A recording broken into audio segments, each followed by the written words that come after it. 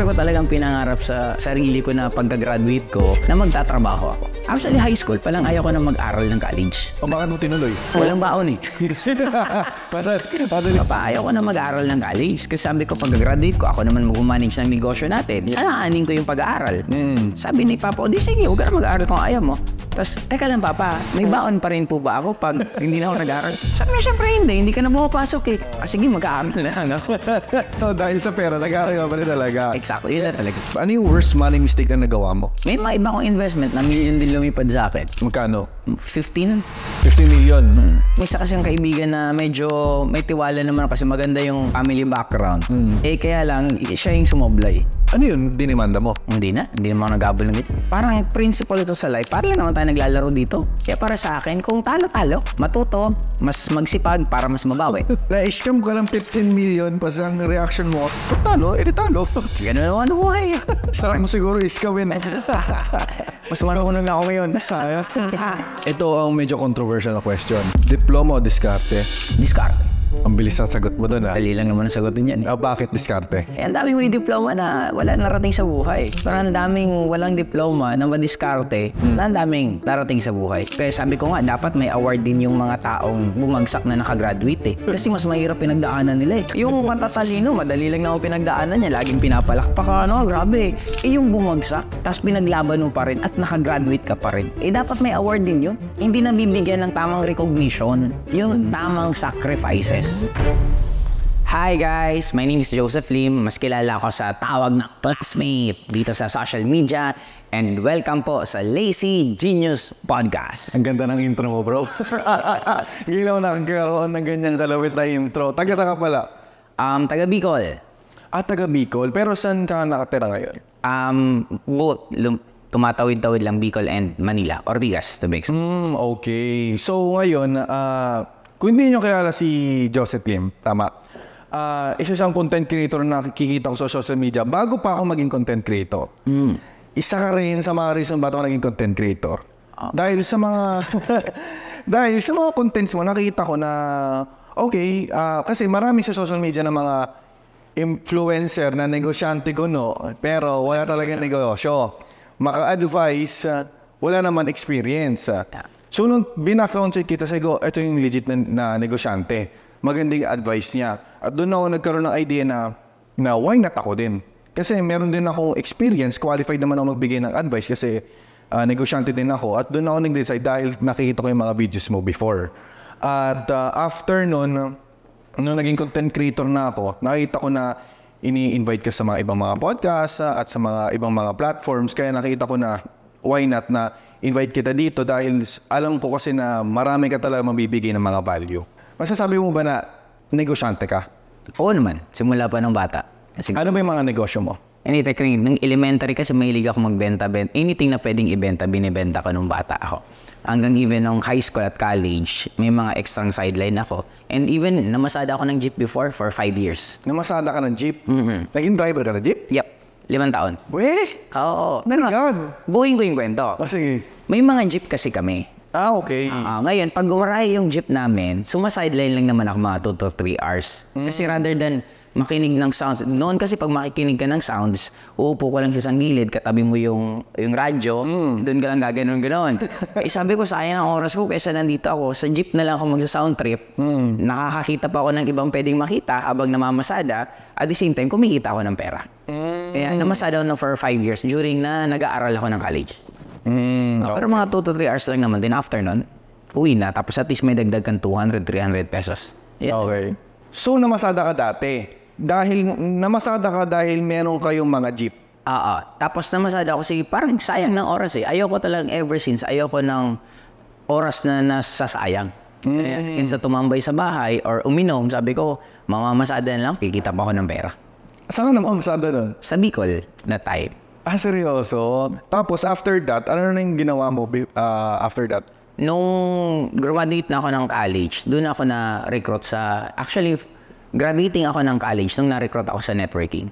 Mm, doon na nagsimula. Doon na nag... So, nagtapos ka ng college. Nakatapos pa rin naman ako. Anong kinuha? Computer engineer, tinapos. Computer engineering. Okay. So, masasabi mo ba na nagamit yung ano, yung course mo sa pagnegosyo? 100% hindi. Pero yung yung mga values, yung mga logic na natututunan mo sa school, nagamit ko pa rin in a way. Paano mag-problem solve, paano maging madiskarte, mag Pero yung actual talagang tinuro na specific, hindi mo naman actually magagamit talaga. Mm, bago ka mag, maging networker, bago ka i-recruit sa networking, masasabi mo ba galing ka sa isang pamilya na mayaman? Um, elementary, oo. High school, bumagsak kami. Doon that time na yung lahat ng properties namin nakuha na ng na rimata. Tapos ang natira lang talaga sa amin jeep, yun talaga natira na lang sa amin. Kaya Ah, okay. nasanay ako dati na may kaya pirin. Pero I'm very thankful na bumagsak kami. Kasi dati, isa yun sa nagiging question ko na sabi ko, Lord, bakit naman kailangan mangyari to sa amin? Naghiwalay pa parents ko. Tapos, only to find out na napaka, kasi yung naging teaching sa akin dahil sa pagbagsak namin, ang gandang lesson yun, kaya ako naging successful na ganito. Kasi dati, pag may gusto ako, iiyak lang ako eh. Ibibigay na ng mama ko. Mm, ganun ka. Pag gusto ko ng toy, iiyak. Spoil ka. Solo akong lalaki, tapos bunso ako. ah, mati. Eh, syempre, di ba, pag Chinese, lalaki ka pa, iba talaga yung treatment din in a way. Kaya that time, nung, ngayon, nung na-realize ko na, sabi ko, it's in a way, thankful ako na mahirap yung pinagdaanan ko nung kabataan. Kasi doon ako naging matibay. mm, yung mother and father mo ba is both Chinese? Um, no, mama ko is Filipino, tapos ang father ko lang Chinese. Mm, okay. So yung negosyante is both sila negosyante. Si mama ko may sariling handicraft, yung father ko may sariling auto supply and mga jeep. Mm, okay. Kaya every Saturday nun and Sunday, Saturday tindahan ni Papa, Sunday tindahan ni Mama. Monday to Friday, school. Ah, ganun ka. Yun ang elementary wala ako nun. Elementary ka pala, no? Nagkakahana ako nun sa tindahan namin. Mm, so, um, ini-implement na na, na, na mga magulang mo yung mindset na isang pagiging negosyante sa'yo no, habang bata ka pa. Yeah. Actually, hindi ko makalimutan yung sinabi sa akin ng father ko before. Nasa, nasa bayan ko naglalaro ako, tinawag ako.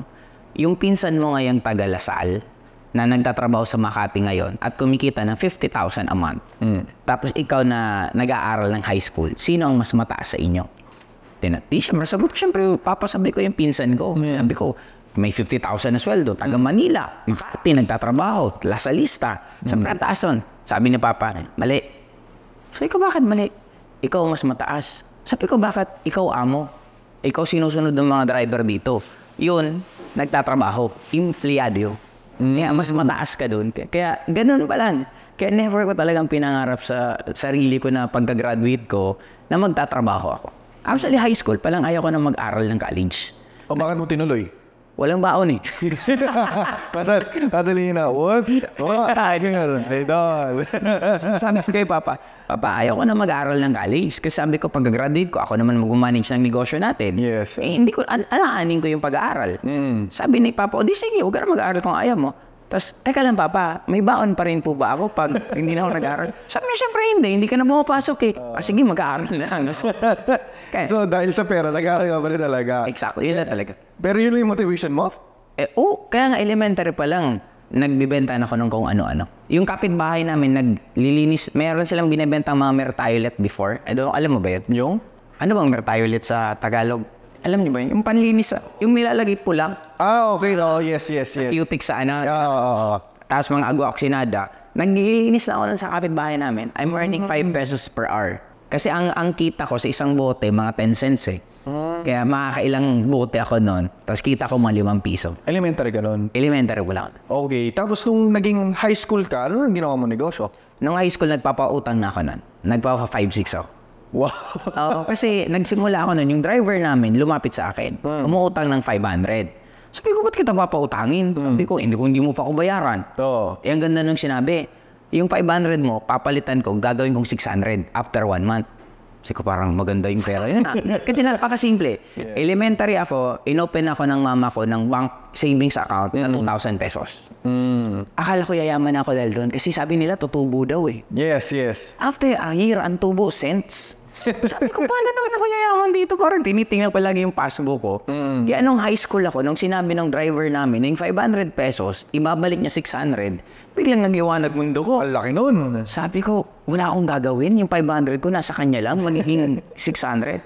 Sabi ko, eh, baka hindi mo bayaran? Ang ganda ng sagot. Paano hindi kita babayaran? Isa ako nagbaboundary lagi. Kasi ako yung kumuha ng boundary. Yes. Tuwing boundary ko, uhulugan kita ng 50 pesos per biyahe ko. Hanggang mabayaran ko ng buo. Kaya doon nag-start na isang driver hanggang dumating sa point na 12 na driver na nangungutang sa akin. Kasi ang ginagawa ko lang, lahat ng baon, hindi ko ginagastos. Pinapautang ko ng pinapautang. Pinapalago mo. Oo, tapos iba pa yung, syempre nagbabayad sila everyday, yung bayad pa nila, napapautang ko pa ulit yon. Actually nga, tubo hindi lang 20%, mas malaki pa. Kasi yung inuhulog nila araw-araw, kung may mga 10 driver ka magbigay ng tig 50, di 500 pesos na yon. Yes. Mapapautang mo na naman. Hanggang pati office meets ng ate ko, nangungutang na sa akin, kapitbahay ko, pati yung mga ibang ano, doon, doon ako medyo kumikita ng maayos-ayos. Ang galing naman doon. High school hustler. Kaya- hindi, hindi ka ba nagkaroon ng ano, na takot na baka sa sobrang open mo sa pagpapautang sa mga tao, baka biglang isang araw di ka na nila bayaran. Actually, hindi ako natatakot dati nung sa driver. Kasi nga, n- nakikita ko sila everyday. Yes, totoo. Kailangan naman di sila pumasok. Di, wala din silang kikitain kasi hindi sila mamasad. Pero meron ako mga experience na may mga hindi nagbayad sa akin. Kaya nga tinigil ko rin pagdating ng oras. Kasi nung may mga ibang tao na, na hindi na empleyado namin na nangungutang sa akin, nahirapan ako maningil. Tapos minsan pinagtataguan ako kasi meron ako dati pinuntahan sa bahay. Nakakailang balik na ako, laging wala eh. Sumunod, bago ako pumunta sa bahay, sinilip ko. Oo. Nakita ko na sa rocking chair, nanonood ng TV. Sabi ko, salamat naman, nakita ko na. Nahuli mo.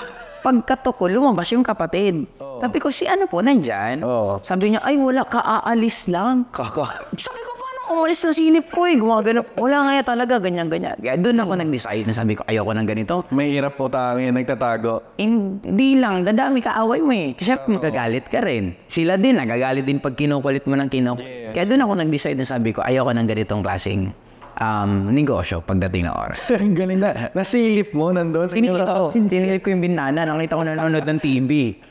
Sabi, tapos nung pagkatok ko, wala na, wala daw, sabi ng kapatid. May kwento rin ako narinig ganyan eh. Na, na nangutang siya, nagtatago siya na nagtatago siya sa inutangan. So ang ginawa, isabi ng ah, ah, naniningil, nasa si Aling Junesia, para gano'n. sabi, wala dito, nakauwi. Tapos sabi ng nangutang, eh paano umalis? Andito chinyelas niya. Napalabas siya. Grabe, tanda na yung chakela. Andito chinyelas niya, paano nakaalis? Nako, oh, nahuli. So, nung ano, nung uh, nangutang ka na, bakit ka, ah, nagpapautang ka, bakit ka tumigil? Um, yung na-realize ko na ang hirap maningil. Mm, doon ka na na, meron pa pala isang encounter. Um, mga empleyado sa mayor's office sa government. May isa ko na encounter na nagbigay ng promissory note na oh, ibigay mo lang to kasi may makukuha kami. Pagdating doon, isa yun ang magbabayad. Pagdating doon, lima kaming binigyan ng promissory note. Lima. Eh, ang i-release na pera, isa lang. eh, pagdating ko dun, sabi ko, ayoko na makipag-away pa dito. Sabi ko, alis na lang ako. Di, ganun. Yun, marami na ako experience na kaya tinigil ko. Mm, and then after nun, ayun yung ginawa mo ng buong high school. High school. Tapos ano din, burn CD. Ano yan? Burn, yung CD before. Ah, burn sa CD. Oo, kasi dati hindi pa naman uso, di ba? Yes. Pag bibili ka ng isang album ng CD, mga isang kanta, dalawang kanta lang ang gusto mo dun eh. Ngayon ako, binibenta ko, bibili ako dito sa CDR King sa Makati pa ako nun eh. 3 pesos isang CD eh, kung magkakaalala ko. Tapos ibinibenta ko 150 pesos. Kasi ang ang sinasabi ko, pag bumili ka ng original, 2 to 3 songs. Sa akin, mamimili ka ng song na gusto mo, yun ang ilalagay ko sa CD. Lalagay ko pa ng picture mo kasi napiprint pa noon eh. Bali na bali sila kasi feeling nila mga artista din sila, di ba? Parang yun nasa CD nandun. Kaya isa yun sa sideline ko before. Medyo malaki-laki din kita kasi from costing ko ng mga 6 to 7 pesos kasama yung printing. Yes. Nabibenta ka ng mga 150 pesos. Laki ng tubo mo nun. Ang laki. tubo mo nun, nasa 143 pesos, no? Oo. Tubong tubo ka. Kaya lang, ano lang dat. Pero malaki na yun. Pero wala pa kasing online noon. Kaya mano-mano lang. Pero Ah, paano mo siya binibenta pala? mga classmates, school. Mm. May dala-dala akong parang, ano yan, yung song, song hits. Di ba, parang gano'n. O pili ka ng kantang gusto mo, ilalagay ko sa CD. Mano-mano ka talaga, no? Ang galing. And then, uh, ayun yung ginawa mo from first year to fourth year high school. Oo, sa halo-halo na, sabay-sabay. Marami bag anything basta pwedeng ibenta, pwedeng pagkakitaan. Hindi ka tumigil sa paggagawa ng paraan para kumita. Basta pagkakakitaan. Ultimo PlayStation, di ko ito makalimutan. Yung naglalaro ako lagi ng PlayStation 1, eh sabi ko, sayang, kaysa laro ako ng laro, nag-ipon ako para bumili. Ngayon, nagpabayad ako sa mga ka- ka- kapitbahay ko na maglaro sa bahay. yung computer shop dun sa may kapitbahay namin, example lang, single 20 pesos per hour, ako 15 pesos per hour. Ang binabaan mo. Oo. Eh maganda, hindi naman ako nagbabayad ng kuryente sa bahay. Sila pa. OPEC. Wala akong OPEC. Kaya, nabawi ko nun yung PlayStation in a span of one year. One year, nabawi mo na. So, meron ka ng libre PlayStation. Parang na libre yung PlayStation ko. Ang galing. So, kaysa nagsasayang ka ng oras, ginawa mo siyang asset para kumita Magkakita. Nakakapaglaro pa ako ng libre, tapos kumikita pa ako ng pera. Ito naman gusto kong tanungin. Nung college ka na, ano nang ginawa mo mga paraan para kumita? Kasi syempre medyo tumanda ka na noon, yung mga friends mo, hindi na medyo nag, ah, tawag dito, hindi na sila medyo nag, ah, naglalaro, o ayaw na nila ng mga Ano, sini gumagawa ako ng project Ikaw gumagawa ng project. sa kaklase ko. Ah, we. Oo. Pag Pag, matalino ka. Hindi naman, madiskarte lang. Yung kusap ko patalito ako eh. Or mi- bilyar. Doon ako kumikita. Sa bilyar, pustahan. Oo. Tapos, ano ba? Ano ba bang pinagkakita? yung laro ng ano, pustahan sa sa net, sa sa computer shop, Mm, so more on games. games. Ah, pero ano pa lang kasi kami noon eh, yung LAN games, hindi pa noon uso yung ah, LAN. Kaya doon, kami kami nagpupustahan Mm, so ayun yung naging way mo na para kumita nung college ka. ng college. Pustahan. Hmm. From business na pautang na, na gagawa ka ng product na like CD or bibili ka ng PlayStation, napunta ka sa pustahan. Pustahan. Pero pa, pasabay pa rin naman kasi namamasada pa rin naman ako noon eh. Yung masada ko noon, nag-start ako 18 years old eh. Kaya that time, college ako nung nagsimula akong mamasada. Kaya eh, kumikita ako ng mga 3, 200, pinakamababa, pinakamalaki 500, jackpot 1,000. Pero uh, very rare yun. Nag-aral ka ba sa prestige na college? Hindi eh. Prestige ba ang ama? Ang college. Hindi ko alam kung prestige yun eh. Pero doon ako nag-aral kasi ang isa sa reason kung bakit ako nag-aral sa ama, gusto ko maging hacker. Oh, Hindi naman pala tinuturo sa school niya. gusto mo maging hacker? Ayun talaga yun. Parang kasi din kasi di ba, napapanood mo sa movie. Parang ganyan. Sige, parang gusto ko maging hacker. So kaya ka pala kumuha ng computer engineering kasi gusto mo maging, Maging hacker at gumawa ng games. Ah, okay. So wala sa isip mo na ta- magtatayo ko ng sarili mong ah, negosyo na talagang physical or traditional business. Gusto mo talaga maging hacker at gumagawa ng game. Games. Parang yung ah, ginawan... Pero gusto kong ano talaga nun, yung, kasi ang goal ko dati, kung hindi maging kapantay si Lusyotan, mahigitan eh. Hmm? Oo, kaya that time naalala ko nung pumunta si Lusyotan sa Allied Bank, talagang pumunta ako dun para magpa-picture. Kaya lang, inarang ako ng mga bodyguard. Hindi ako nakapag-picture. Pero before pa, clear sa akin na gusto ko talagang yumaman. Mm. So yun lang yung way mo na paraan para yumaman dati. Parang kung anong pwedeng kang kumita ng pera, as long as na legal naman siya, ginagram ko. Ay, alam ko yun yung ginawa ni Steve Jobs eh. Na siya yung nag-create ng games before. Tapos nag-decide siya na gumawa siya ng sarili niyang ah, computer set nun eh. Ah. Ang naalala ko eh. Parang siya yung, parang yung may gawa ganon, tapos may bola. Oo. Ping pong. Tama ba? Siya ba nauna nun? Hindi ko lang siya. Parang hindi. Yun ang first game. Sa buong mundo, ang pinakaunang game is the ping pong. Mm, yun ba yun? Yun ang pinakauna. Pero di ko maalala. Basta may ginawa siyang game na parang ganon eh. Na may nagbabounce-bounce eh. So yun lang yung una mo, ayun lang yung paraan mo dati nung college na niyamang ka sa paraan na Hindi ko pa actually naiisip kung ano yung pinaka gusto ko para ako yumaman. Basta ang importante sa akin, kung ano yung pwedeng pagkakitaan.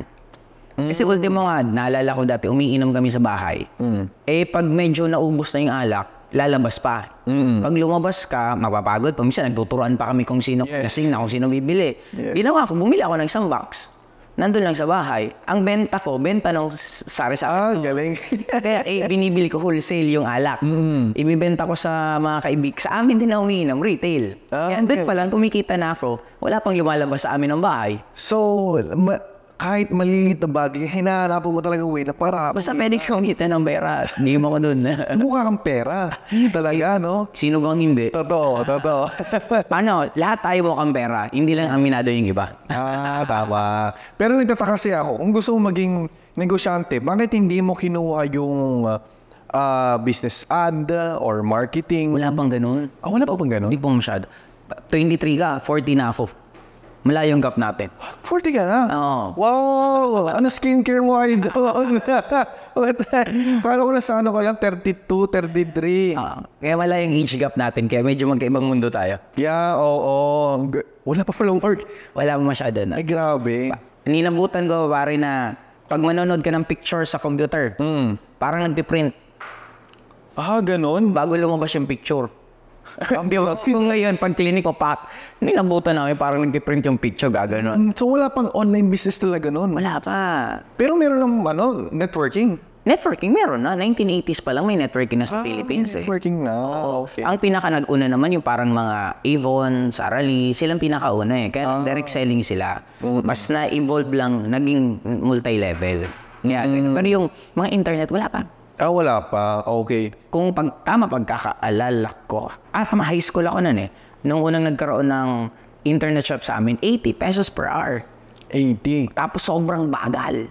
Kasi, kasi dial-up pa. Alam mo dial-up? Hindi, hindi, hindi. Yung computer mo, isasaksak mo yung connection ng telepono. Ah, Doon dadaan pa. Kaya pag minsan, pag gumagamit kang internet, hindi ka matatawagan ng kapitbahay mo. Kasi yung dial-up, ginagamit mo yung landline mo. Hmm. Hindi, ano ka nun? Ah, tawag dito. Ah, anong year yun? Anong year? Anong year? Yes, anong year? Like 2000... Mga 1898, 99. Ah, meron na pala akong mga computer shop na panahon na yun. Meron na pero sobrang pili. Sobrang kokonti. Kasi alam ko yung first computer namin, two, 2006 yun eh, 2007 eh. Ay, Noon ang computer may ano pa eh, yung MS, yung floppy disk, yung disket. Ang disket pare, isang ganito kalaki, ang capacity 1.44 MB. Lit. Gising kalaki. Ang laki pa, ano? Kaya dati pag nag-install kami ng games, ilang dala-dala mong ganun.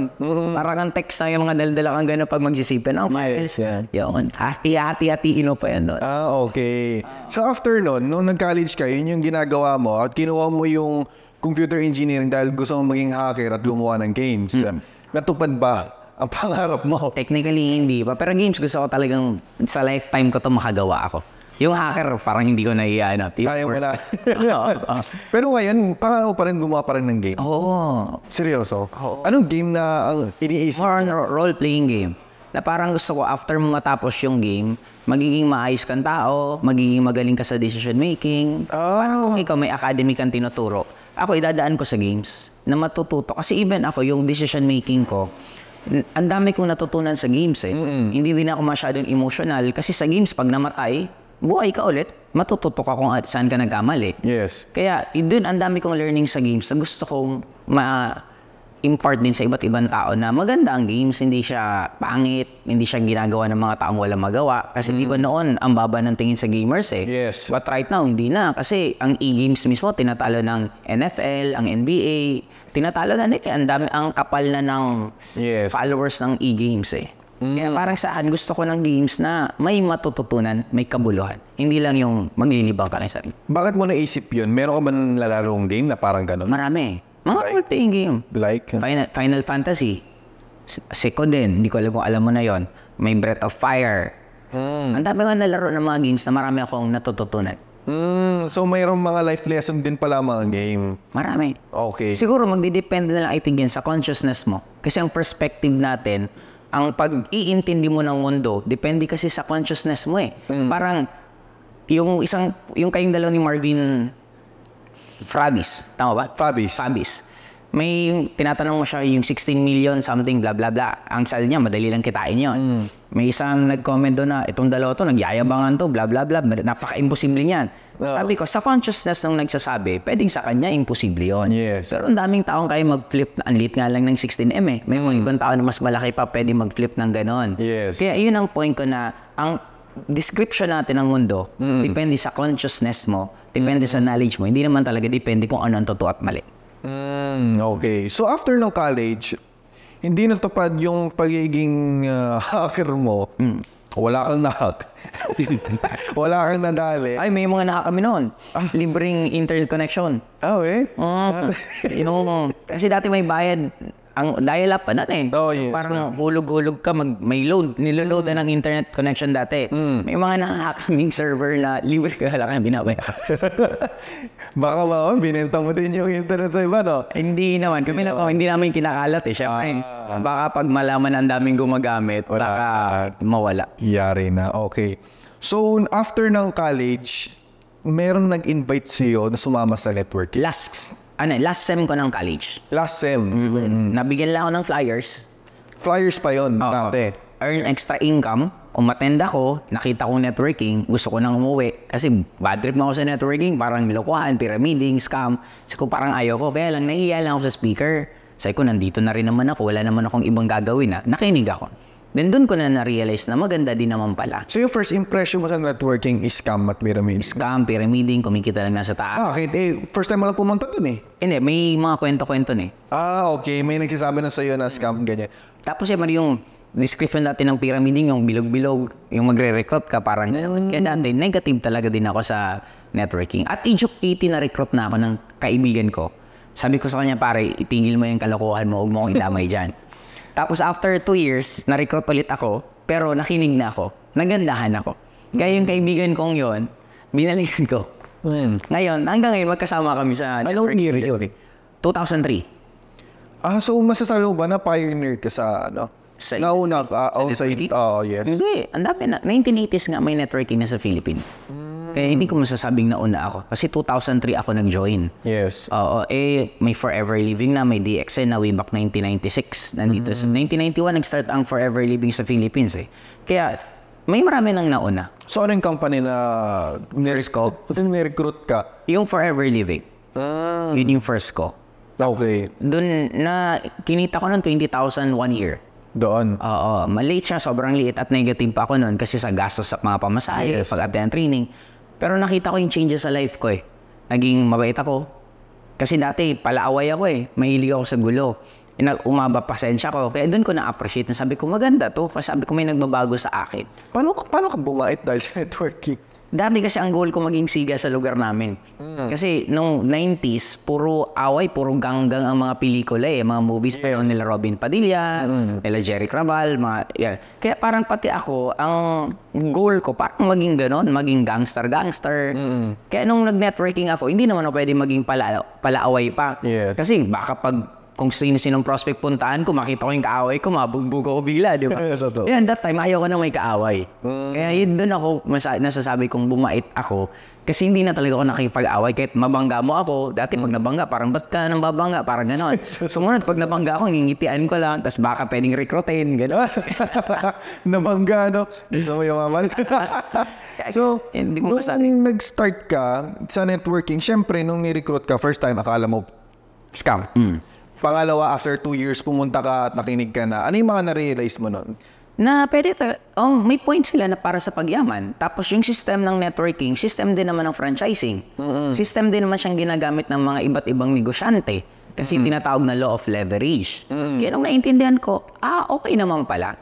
Pero actually, nung nakita ko ng maganda, hindi pa naman agad ako nung nag-join. After a month pa ako nag-join eh. In-interview ko muna lahat ng kakilala ko na nag-networking na walang nangyari. Yung kumaga, na, na, napakinggan ko yung lahat ng positive eh. Yung lahat ng Totoo. member. Eh, syempre, masasabihin nun, lahat magaganda. Totoo. Eh, tinanong ko ngayon yung mga kakilala ko na hindi kumita. Ano sabi Alam mo, nila? Ang mga reason nila, iniwan ng upline, mahal ang produkto, hindi ko maibenta, mahirap mag-recruit, hindi lahat sasali. Tinanong ko lahat yung mga reason nila Mm. sa sarili ko. Kung ako ma-experience ko yon kaya ko ba?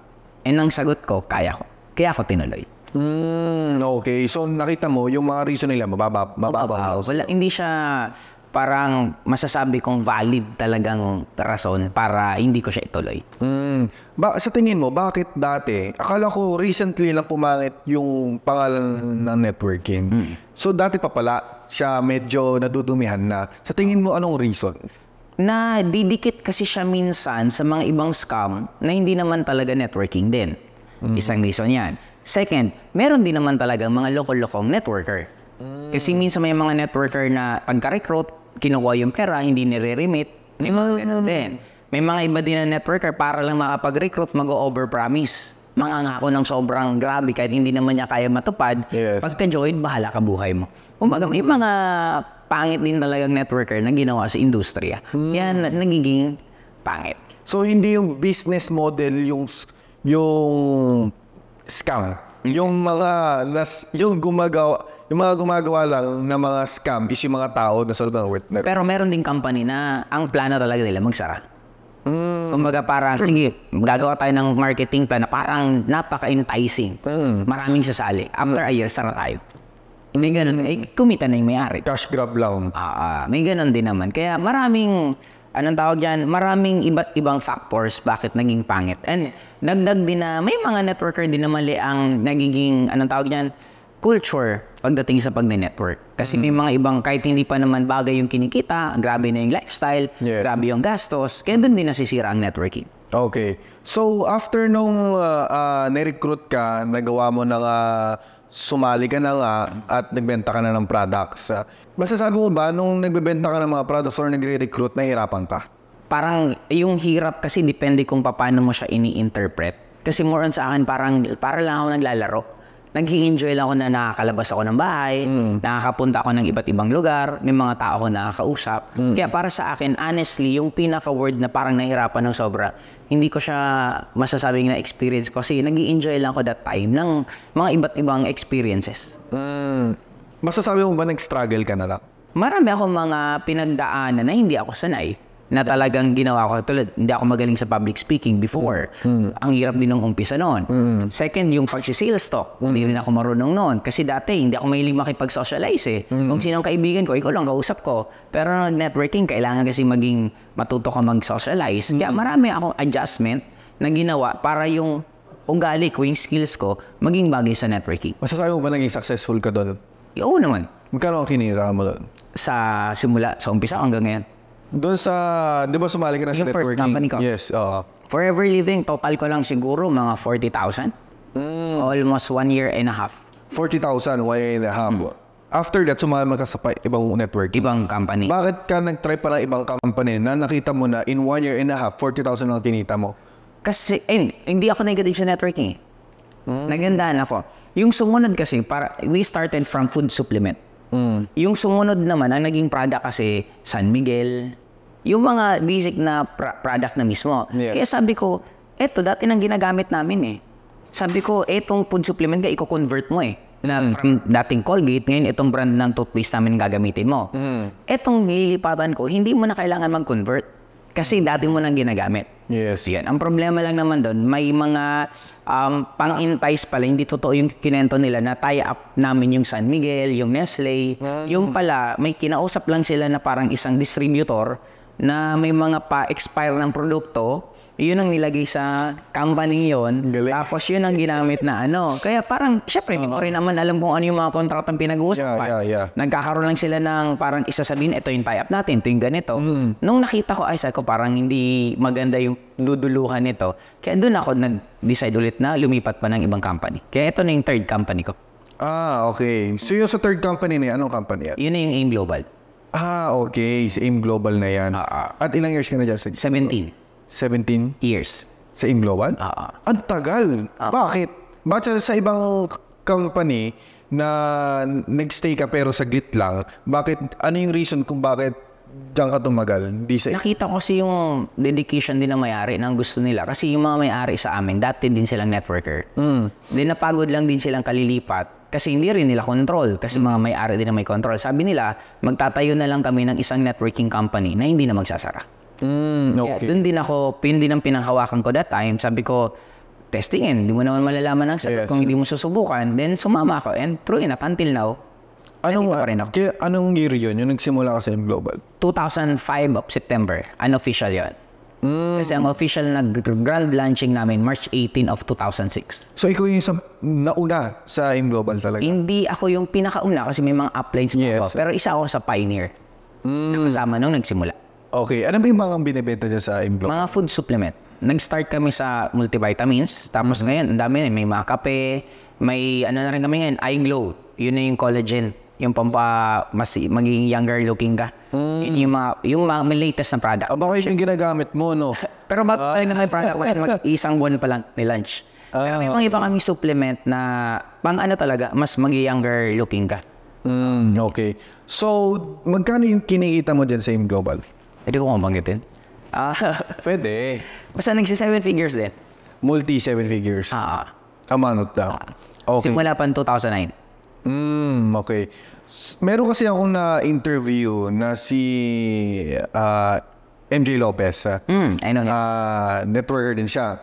So, tinanong ko sa kanya, ano yung pinakamahirap bilang isang offline na madaming na, na syempre, marami ka na refer, marami ng ano. Ano yung pinaka mahirap i-handle sa mga yon At one of na sa mga sinabi niya is yung mga mga bata niya, yung mga ilalim niya is yung iba is masyadong minsan dinidisrespect na sila and etc. So sa tingin mo ikaw ano yung Sa akin, ang pinaka-challenge siguro, yung gigising ka ng umaga, may problema kang hindi mo naman problema. like Yung may mga ginawang kasalanan or palpak yung tao mo, ikaw yung haharap. mm Kasi parang ako ever since, inayos ko ng sobra buhay ko kasi ayaw ko ng mga ganyan na may experience ko sa life. Yes. Tapos ngayon, araw-araw yun ang almusal mo, panangalian, dinner mo, yung problema ng mga ilalim. Yun lang naman ang... Masasabi mo ba na successful ka na sa buhay? Oo naman. Masasabi ko.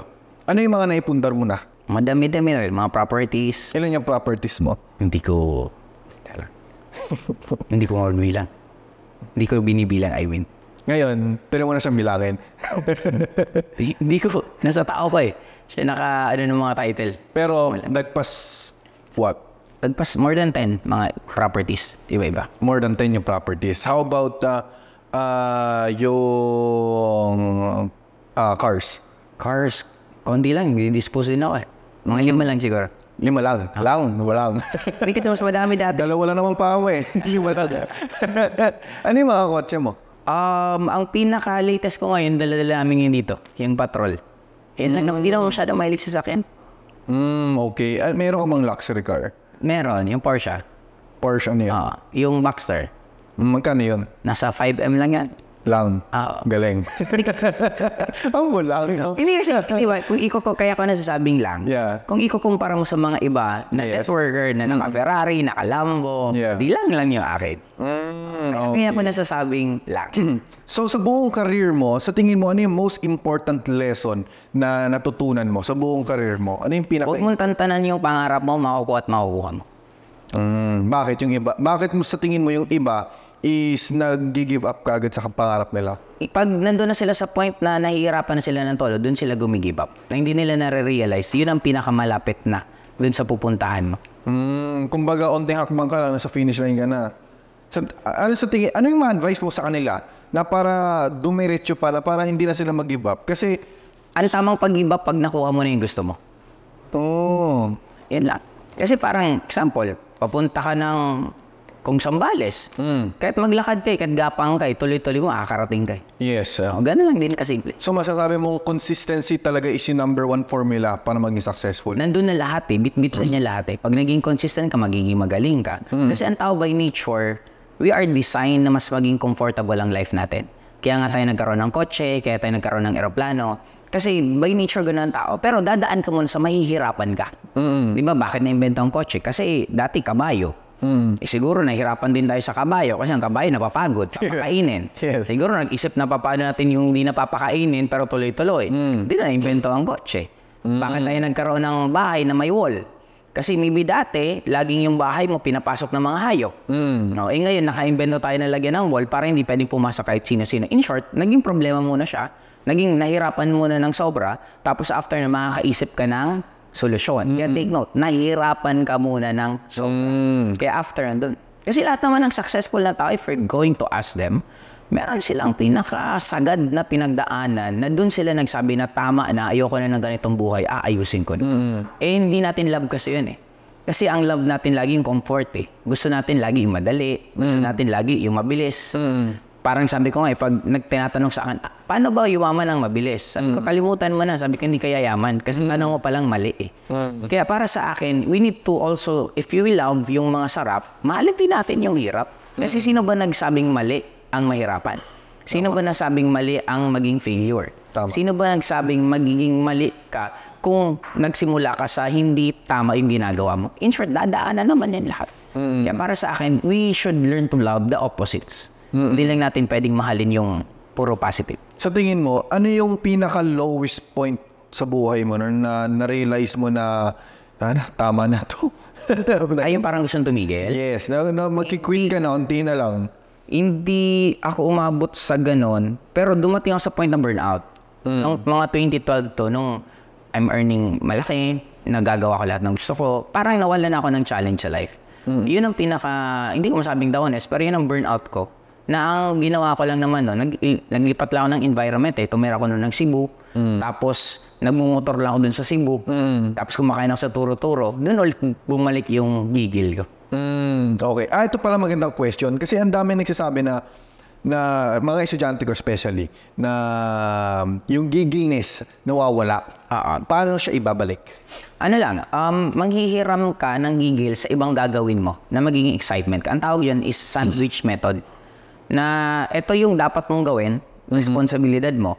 Maghanap ka ng ibang gagawin na masaya ka. Maglaro ka, mag-basketball ka, um, mamasyal ka, anything na magpapasaya sa'yo. Yes. Then, pag ginagawa mo siya, tataas ang excitement mo. Pag ang taas ng excitement mo, balik ka ulit dun sa ginagawa mong responsibilities mo. Ngayon, pag ginawa mo yon bit-bit mo kasi yung excitement mo doon. Yes. Then, pag paubos na, balik ka na naman ulit doon sa magbabalik sa'yo ng excitement. Parang pinakasimple. Pag ang cellphone mo, para tuloy-tuloy mong magamit, mag-charge ka. Mm. Okay, ganun lang. Maghanap ka ng ginagawa mo na nasa-charge ka. Mm. Ikaw, example sa position mo ngayon, saan ka nagka-charge? N- Noon muna. Yes, noon. Noon, gusto kong uminom eh. Excited ako uminom sa iba-ibang lugar. Ah, seryoso? Oo, kaya umaga hapon trabaho, network. Yes. Gabi, gimmick. Kaya that time lagi kong tanong, punta tayo ng example, Batangas, saan tayo dyan iinom? Punta tayo ng Baguio, saan tayo gigimik? Kaya habang nagpipresent pala ako ng umaga hanggang hapon, nag, umiikot na yung sana naman kami iinom. Ano? Yeah, yeah, masaya. Yan. Kaya yun ang unang nagpapa, ano talaga. Kasi mahilig kaming uminom eh. Lalo pag Bicol, since mahilig sa maanghang, mahilig talaga sa alcohol eh. Kaya that time, ang excitement ko, yung makapunta ng iba't ibang lugar at makainom sa lugar na yan. Grabe. Ah, kaya ang, ang advantage ko noon, hindi ko kailangan mag-stop para mag-charge. Nagagawa ko same day na nagagamit ko yung energy ko at gabi, nagcha-charge ako. Kasi di ba, umaga hapon trabaho, network, present, present, present. Gabi, inom. Tapos minsan sa pag-inom pa, kasama mo pa downlines mo. Or minsan dun ka pa mang prospect pwede ka pang maka-recruit doon. Kaya dun ang routine ko everyday. Di, hindi ka na, no? Na after nun, hangover, di ka makapagtrabaho bukas. Hindi eh. Hindi ka naman, hindi ka masasagad ng sobra. Ah, minsan pagising mo, gawin ko na yung work para makapag-inom ako mamaya. Parang gano'n. Parang ganon. Ah, tapos alam mo rin naman yung limit. Inom ka lang ng tubig eh. Nang marami bago ka matulog. Tapos pagkabukas, tubig ulit. Ang bilis ang recovery pag iinom ka ng tubig. Ah, okay. Para lang pala siyang ano, school. Na kaya ka pumapasok sa eskwelahan dahil gusto mo yung uwian. Punta sa computer shop, maglaro ng basketball, mga ganun. Tapos yung kalaro, yung classmate mo, or yung crush mo. Ano? Ah, tara. Parang pagkatabi mo yung crush mo, sana huwag na matapos yung subject eh. Kaya parang ganun lang din sa buhay. Napaka, napakadali lang naman. Napakasimple maging successful. Kaya lang tao gusto kasing kom- komplikadong sagot eh. Kaya iisip nila ng komplikado, akala tuloy nila ang hirap maging mayaman, maging successful. Pero sobrang dali. Kasi kung mahirap siya, di sana konti lang ang mayaman. Honestly, ang dami naman mayaman. Dito na lang sa Pilipinas, di ba? Makita mo bakit nagkaroon ng Ferrari na kasa dito. Ang nagpaplano pa dito sa Philippines sa largest LV stores na itatayo sa Pilipinas mismo. O di ba para itong mga company to, nagkakaroon naman to ng research team bago maglagay dyan eh. Totoo. The point na naglalagay sila, tingnan mo mga hotel casino na lang sa atin, gaano karami. Ibig sabihin, may, May pera. may pera Pilipino. Mm. Ito tong walang Sa tingin mo, ito na lang. Ay, hindi. Eh, bago pala yun. Sabi mo dati, recharge mo, inom. Ngayon, Ang ano ko naman ngayon, mga properties, mag-develop. Doon ako medyo, kasi may inaantay ko lang matapos yung drawing ng resort ko, yun naman ginagawa ko.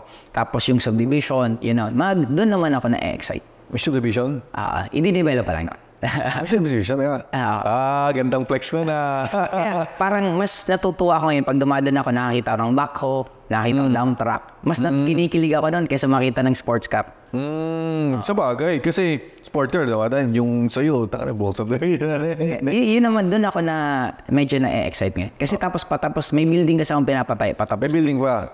Ah, walang yaan. Tawag kang lang. Tumbalan ng mga kids ko before, no? basta yun. Yan. Okay. So, um, sa, sabi mo nga na hindi mahirap maging successful kasi may pera sa Pilipinas. Kaya marami nag invest na from ibang bansa, from the first country, nag invest dito. Sa tingin mo, bakit marami? Ito na na. Kaya nga nagkaroon tayo ng 1986 Constitution na bawal mag-invest ang foreigner sa Philippines ng 100%. Di ba ang batas natin, 40% lang ang foreigner, 60% ang Pilipino own. Mm. Ang tanong, kanina pumapabor yon? Kasi laging ginagamit yung words na, hindi, dapat para Pilipino, para Pilipino. Pero may narinig nga akong isang Indiana eh. Ganda ng advice niya. eh. Kung gusto niyong pababain ng bigas, kasi topic ngayon ng bigas eh, na rather than na, naghihirap na 50 pesos, 60 pesos per kilo, i-open nyo na mag-supply ang mga iba't mag-import. Pag nag-import, magsaka ng presyo yan kasi mag-oversupply eh. Yes. Kaya lang, bakit hindi na-allow? Mm. Ang bottom line, may konting nakikinabang na sila din ang nasa posisyon kaya nila pinagbabawal. Kasi kung totoo ang reason gusto pamurahin ng bigas, andali, pasupplyin niya ng unlimited supply. Buong mundo mag bagsak ng presyo dito. Pababa. Bagsak niyan eh. Mm. Kaya parang ganun lang din sa atin na bakit sinasabi laging mahirap ang Pilipinas, mahirap ang Pilipinas. May ano doon eh, may gray area. Hindi ba baka may mga certain tao lang na gusto lang sila lang ang kumikita. Yes, yes. Sila lang nasa posisyon na hindi ma-realize. Parang ganun. Okay. So, sa tingin mo nga na kung masasabi mo may, may pera talaga sa Pilipinas, paano, paano mo ma-justify na meron pa rin mga mahirap ng mga tao? Marami lang talaga taong tamad. Tamad lang talaga. Tamad lang. Tapos, si ginagawan tamad. May four piece tayo sa government. Bakit binibigyan ng pera yung mga taong hindi nagtatrabaho? Anong ibig sabihin? Anong tinuturo natin? Parang ikaw, kung may Sa tao ka, may tao ka, sweldohan mo, pero hindi mo, o kahit wala kang gawin, bibigyan kita. Magtatrabaho po ba yan? Hindi na. Oo. Eh, bakit binibigyan? Masyado natin binibida for the poor, mga slogan ng politiko, lagi for the poor, for the poor, for the poor. Eh, bakit hindi ang ang ayusin yung mga nagtatrabaho? Bakit hindi lagyan ng mga benefit na dagdag yung mga nagtatrabaho maayos para yung mahihirap, mamamotivate na ayusin ko buhay ko para maging katulad din nila ako. Eh, laging yung mahirap, binibigyan ng bahay, binibigyan libreng tirahan, Imbis yung nagtatrabaho sa nang bigyan na lang, eh ngayon, lalo yung mahirap, magiging mahirap na lang ako. Inaalagaan pa ako ng politiko, binibigyan ako ng mga ganitong benefit, ganitong, yun. Ganun. So, ibig sabihin nun, tutol ka sa ganong strategy ng gobyerno. Paano matututo ang isang tao kung ibibibi mo? Sa Diba, mga... parang ako, may anak ako. Anak ko pag nadapa, oh, stand up. Yung, yung noon na magulang, ay, ko kawawa, kawawa, ganun. Ako yung pag kadapa, tayo. Ang anggo naman ng bata, design naman kahit madapa, madapa, ang bilis ang recovery pa niyan. Kaya parang gano'n lang din kasimple. Kumbaga, hindi matututo ang isang tao kung ibibibi mo. We need to be hurt. We need to na makaranas ng betrayal. Kailangan natin madapa, kailangan natin umiyak para tumibay. eh. In short, kung kailangan daanan yun, pag dinipride mo ang isang tao, di ba, bakit maraming yung mga taong kalye, matataas ang resistensya. Bakit minsan yung mga taong hindi nakakasangap ng mikrobyo, madaling magkasakit? Totoo. Kasi hindi sanay. Oo. Ganun. Yun ang reason ng bata, bakit ng bata laging dinidilaan lahat, kinakain lahat, sinusubo. Kasi instinct ng tao yun na um, ini-introduce na niya sa sarili niya yung iba't ibang klaseng germs para alam na ng katawan niya kung paano protektahan. In short, kailangan mo ma-expose Sa bagay. mga mali, sa mga negative, para ka tumibay. Mm. Kaya kung yung mahihirap, lalo natin ipoportray sila na ganon sila, ganon sila, hindi talaga magpupursige sa buhay. Ito yung interesting question. Kung ikaw ang presidente ng Pilipinas, oh, ganda, no? Kung ikaw maging presidente ng Pilipinas, ano yung paraan na pwede mong gawin para umunti yung mga mahihirap? Um, sinabi na to, dumaan kami kanina, Villar City. Sabi ni Manny Villar, na simple lang, turuan ang Pilipino maging entrepreneur, hindi maging empleyado lahat. Kasi buti na nga lang because of social media, ang dami ngayon ng mga tao na nare-realize nila na tama na hindi naman employment lang ang pwede kang kumita. Sa panahon ngayon, ang dami, ang daling kumita ng mas mataas pa sa minimum wage na hindi mo kailangan magtrabaho. Pwede ka magbenta, kung anong services kaya mong gawin. Lalo ngayon, napakaswerte kasi ang Facebook na lang, pwede ka nang may negosyo ka na, doon ka pa lang sa fees. Yes, yes. Unlike noon, para ka magtayo ng negosyo, kailangan mo ng kapital, kailangan mo ng physical store, but right now, hindi na eh. Kaya kung mai-educate natin na ang Pilipino, rather than umasa sa gobyerno, na bigyan sila ng trabaho, eh kung matuturuan natin ang Pilipino gumawa ng negosyo, mag-hire sila ng mga empleyado, maraming mababawasan ng mga tao na walang pinagkakitaan. Mm, So, what you're trying to say is, uh, i-prioritize yung mga tao maging negosyante. I-promote. I-promote. I-promote ang hindi lang di ba ang advice sa atin, mag-aral ng mabuti, pagka-graduate, maghanap ng trabaho. Eh what if kung ituro, mag-aral ng mabuti, pagka-graduate, magtayo ng negosyo. Mm, okay. Tapos, um, iban ang SOCMED ng mga walang kwenta. Kasi sa atin na portray masyado, bata pa lang, sumasayaw na ng mga malalaswa kasi inaalaw sa social media eh. eh kung ang ilalagay sa TikTok, baw- nakaban lahat yon ang ipopromote doon yung mga iniimbento ng mga magaganda, mga business ideas, kung yun ang ipopromote sa social media, Ay, parang gina- bago ang ginawa na yata ng China yun eh. China gumagawa, hindi ba? Pilipinas. Di ba ganun yung ginagawa sa China? Actually, China bawal ang mga pangit. Puro magaganda, puro positive lang ang nasa ano nila. Sa atin, puro negative. Pinag-uusapan, ito na lang, yung sa Senate, isipin mo yung road rage, yung kalbo na nanapak na, na cyclist, Yes. para umabot pa sa Senado yun. Di ba, imagine mo gaano ang gastos ng pinag-uusapan nila pag nasa Senate, yung hearing, Yes. yung kakainin ng mga senator, yung kakainin ng mga tao nila, yung kuryente, yung lahat. Pinag-uusapan nila road rage. grabe, sabi grabing perang sinasayang nila sa ganyan. Daming ibang pwedeng pag-usapan na mas magaganda. Kaya lang, sometimes they need publicity. Yes. Gusto nila yung pag-usapan para sikat in preparation para sa susunod na election. Mm, kabagay.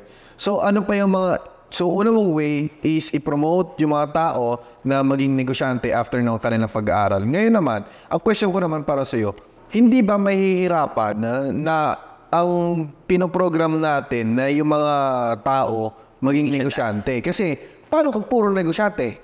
Hindi tayo naman na mag-hire na ng mga foreigner na magtatrabaho sa atin. Ah, okay. Or pagdating ng oras, AI, robots. Di ba, pwede ka na mag-develop. May mga AI na rin naman yun. Pagdating ng oras, yung mga manual labor na kaya naman gawin ng mga robots. Robots na gumawa. Mm, Doon naman tayo papunta na eh. Kasi ang, ang tanong lagi, paano nga pag lahat negosyante na? Ang dali-dali ng sagot. Ang dami law of supply and demand. Ang dami pa rin ng ibang countries na hindi naman progressive. Yes. uh, ah, okay. So ngayon, unang way is to promote them to be an entrepreneur. Second way, sa tingin mo, ano yung pwede mong gawin kung ikaw yung presidente? Sa, um, a number one is, ah, dulo pa rin corruption.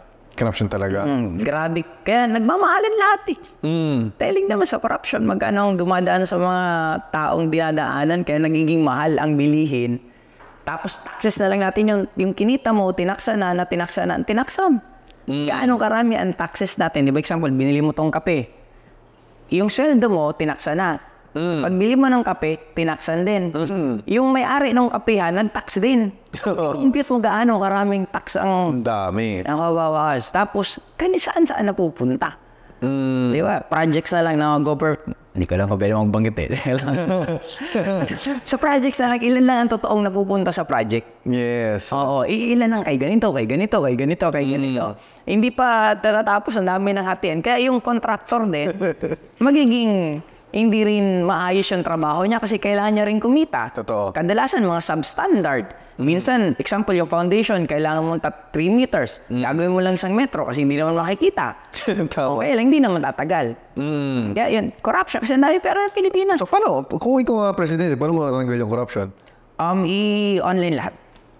Ah, okay. Para siyang ano, blockchain. Parang technically, naka-crypto. Parang naka... Kasi kung naka... Public ledger. Kita. Sa bagay. Kasi ang tanong ko nga eh, pera ng, pera ng tao yan. Bakit hindi pinapakita yung audit? Mm. Dapat ipakita. Ito yung project. Yung pinakamaganda nga, isa pa. Yung gumawa ng project, ilagay yung picture, ilagay yung pangalan, para alam ng tao kung sinong sisisiin pag sablay yung project. Tama, tama. Ganun lang. Ilalagay lagi yung magaganda. Hindi ilagay lahat para, ah, ito project ni ganito. Ilagay yung amount. Ilagay yung itemization. Mm. Okay. Nasagot na sa ganun eh. Sa bagay. I, ano lang lahat? Ano bang tawag sa ganyan? Ilatag. I-public. I-public. Public. Hindi lahat. Kasi technically public ano naman yan eh. Yeah, yeah, yeah. O, Pera bakit ng tao hindi ba? nila pinapakita lahat? May tinatago, parang gano'n. Alam ko naman sagot yun. so, yun na nga. Ah, so, sa tingin ko, magiging maganda presidente ka mo. Ito na pala yung, ano mo, yung promotion mo. so, yun na, pagdating mo, balik muna tayo sa personal question. Um, tatakbo ka ba talaga? Joke lang. Ito na. Marami akong mga relatives na mga nasa politics pero wala akong plan. Ah, meron ka rel- relatives talaga nasa politics talaga. Marami. Pero ayoko. Kasi nga, madumi. madumi masyado. Tapos, ang dami mong iwiwi. Kasi, pag gumawa ka ng mabuti, kalaban mo minsan yung butante. Mag-uwi ka ngayon. Kakalabanin mo yung butante na tama gagawin mo. Or pagbibigyan mo sila para iboto ka. Yung palang mahirap ng decision making siya. Mm. Hindi, tapos hindi ko rin kaya yung, may mga iba akong kaibigan na everyday may nakapila sa bahay nila. Mm. Nanghihingi ng, ultimo pare bakasyon. Nanghihingi kasi mag-excursion sila. Grabe. Hindi ko kaya ganun. Medyo mataray-taray pa naman ako kahit konti. Hindi ko kaya makisama sa ganun klaseng. Oo. Minsan nga daw, pumipila weekly. Mm. Hingi ng sa- sakit, gamot, kasal, lahat. Grabe naman yun. Normal na yun. Talagang, yung parang nasa, sa tingin ko yung kultura ng Pilipino yun eh. Kultura natin kasi nagsimula din ang corruption sa atin. Kasi hindi ko yan ibuboto, maliit ang bigay eh. Doon tayo sa malaki. Doon pa lang, inaano mo yung politikong maglabas ng pera. Eh, Siyempre, pag naupo yan, madalas, babawi. Mm. Yan. Kaya naman, May fault din tayo. puro naman tayo positive. Ngayon, puro naman tayo sa negative. Ano yung worst money mistake na nagawa mo? Worst money mistake. May mga iba kong investment na million din lumipad sa akin. Magkano? 15? 50 million. Na, na- paano yan? Na-scam? Technically, may isa kasi yung kaibigan na medyo may tiwala naman kasi maganda yung family background. Eh, kaya lang, siya yung sumoblay. Magkano? 15 nga. Pero, I mean, walang bumalik sa'yo. Ni piso. Anong investment yan? Um, sa construction eh. Ah, sa construction. Oo. Ano yun? Dinimanda mo? Hindi na. Hindi naman ako nagabol ng ganyan. 15K, ay 50 million. Hindi, hindi mo na, ano? Ano kasi ang, ang parang principle ito sa life, para lang naman tayo naglalaro dito. Kumbaga para ka lang, para ka lang pumasok sa isang game na naglaro ka, pagkatapos ng laro, ibabalik mo rin eh. Di ba? Parang Monopoly, naglalaro mo Monopoly. Yeah, yeah, Di ba, bigyan kayo pera, Yeah. naglalaro kayo. End of the game, ibabalik nyo rin. Mm. Kaya para sa akin, it's more on just experience. Ang pera, hindi rin naman totoo. Inimbento lang yan, nilagyan lang ng value. Yeah. Kaya para sa akin, kung talo-talo, matuto, mas magsipag para mas mabawi. Grabe naman. na, na, na-scam ka ng 15 million pas ang reaction mo, kung talo, edi talo. eh, ganun naman buhay. Isa, habol-habol ka pa niyan. Sarap mo siguro iskamin. Mas marunong na ako ngayon. Sayang. Kung ako mag-scam, ito, unahin ko. Kung talo, talo, pabayaan mo na. Sarap siguro na ganun buhay, no? So ngayon, bilang neg- negosyante, talagang, ah, talagang work hard, play hard ka talaga. Ngayon, paano mo nababalance yung work and life mo? May, may mga araw kung kailan ako magne-network. May araw kung kailan ako sa family ko. Kung kailan ako tatay, kailan ako asawa, kailan ako kaibigan, kailan din ako kung kasama ko lang sarili ko, kailan din ako mag-games. May mga kanya-kanya din akong oras. Paano mo na time management lahat yung Hindi ko naman siya dinidetalye. Pero parang pag medyo napapagod na ako dito, burnout ako, eh magagawin ko. Mm, okay. Kaya ang isang vlogging itong social media, ano ko to eh, parang outlet na pang para distress ko.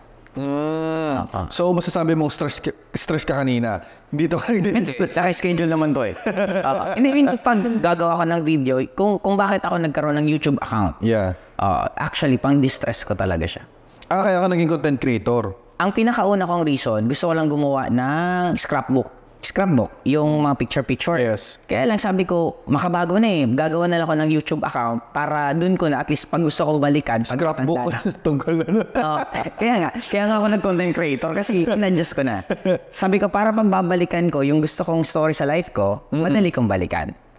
Kaya iyon ang isang pinaka-first na reason ko. Hanggang ngayon, ang nare-realize ko, nakakatulong sa akin mag-distress. Mm. Tapos na, nakakatulong sa akin mas mag, maging matalino kasi nag-aaral ako. Kung anong content topic ko, kung anong mga gagawin ko. Tapos nakakatulong sa ibang tao. Mm. Yun ang pinaka... Kasi may isang nag-comment sa akin dati, hindi ko ito makalimutan na, um, salamat po classmate kasi plano ko na talaga mag-suicide. Ilang beses na akong tumitingin sa kung saan ako magbibigti. Buti na lang napanood ko yung video mo. Ngayon laban ulit ako sa pangarap ko. Kaya nung nakarinig ako ng mga ganun, ah, pucha, sabi ko, itutuloy ko tong ginagawa ko. Kasi sabi ko, hindi ko alam kung ano nagiging impact ko sa iba't Yes, ibang totoo. tao. Na it will be worth more than the money. Yeah. Kaya, yun ang, yun kasi ang ano kayo, parang love language ko. Gusto kong tumulong. Pag nakakatulong ako sa ibang tao, masaya ako. Ano yun? pera? Parang na rin pera.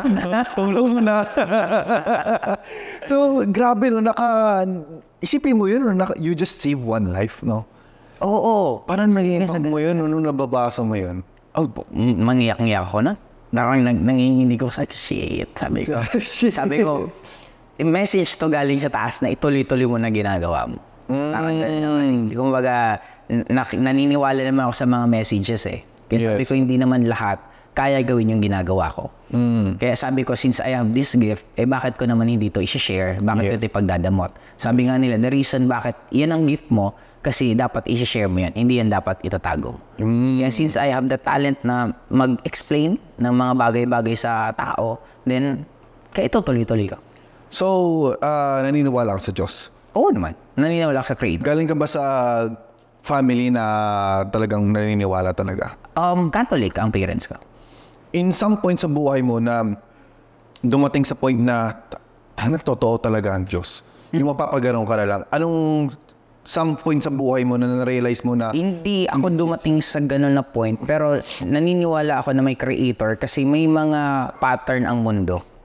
May pattern pa paano ka magiging successful, may pattern ng plants, may pattern ng nature, may pattern siya lahat eh. Kaya ibig sabihin, mayroon nag-create sa atin na bakit tayo ngayon nandito.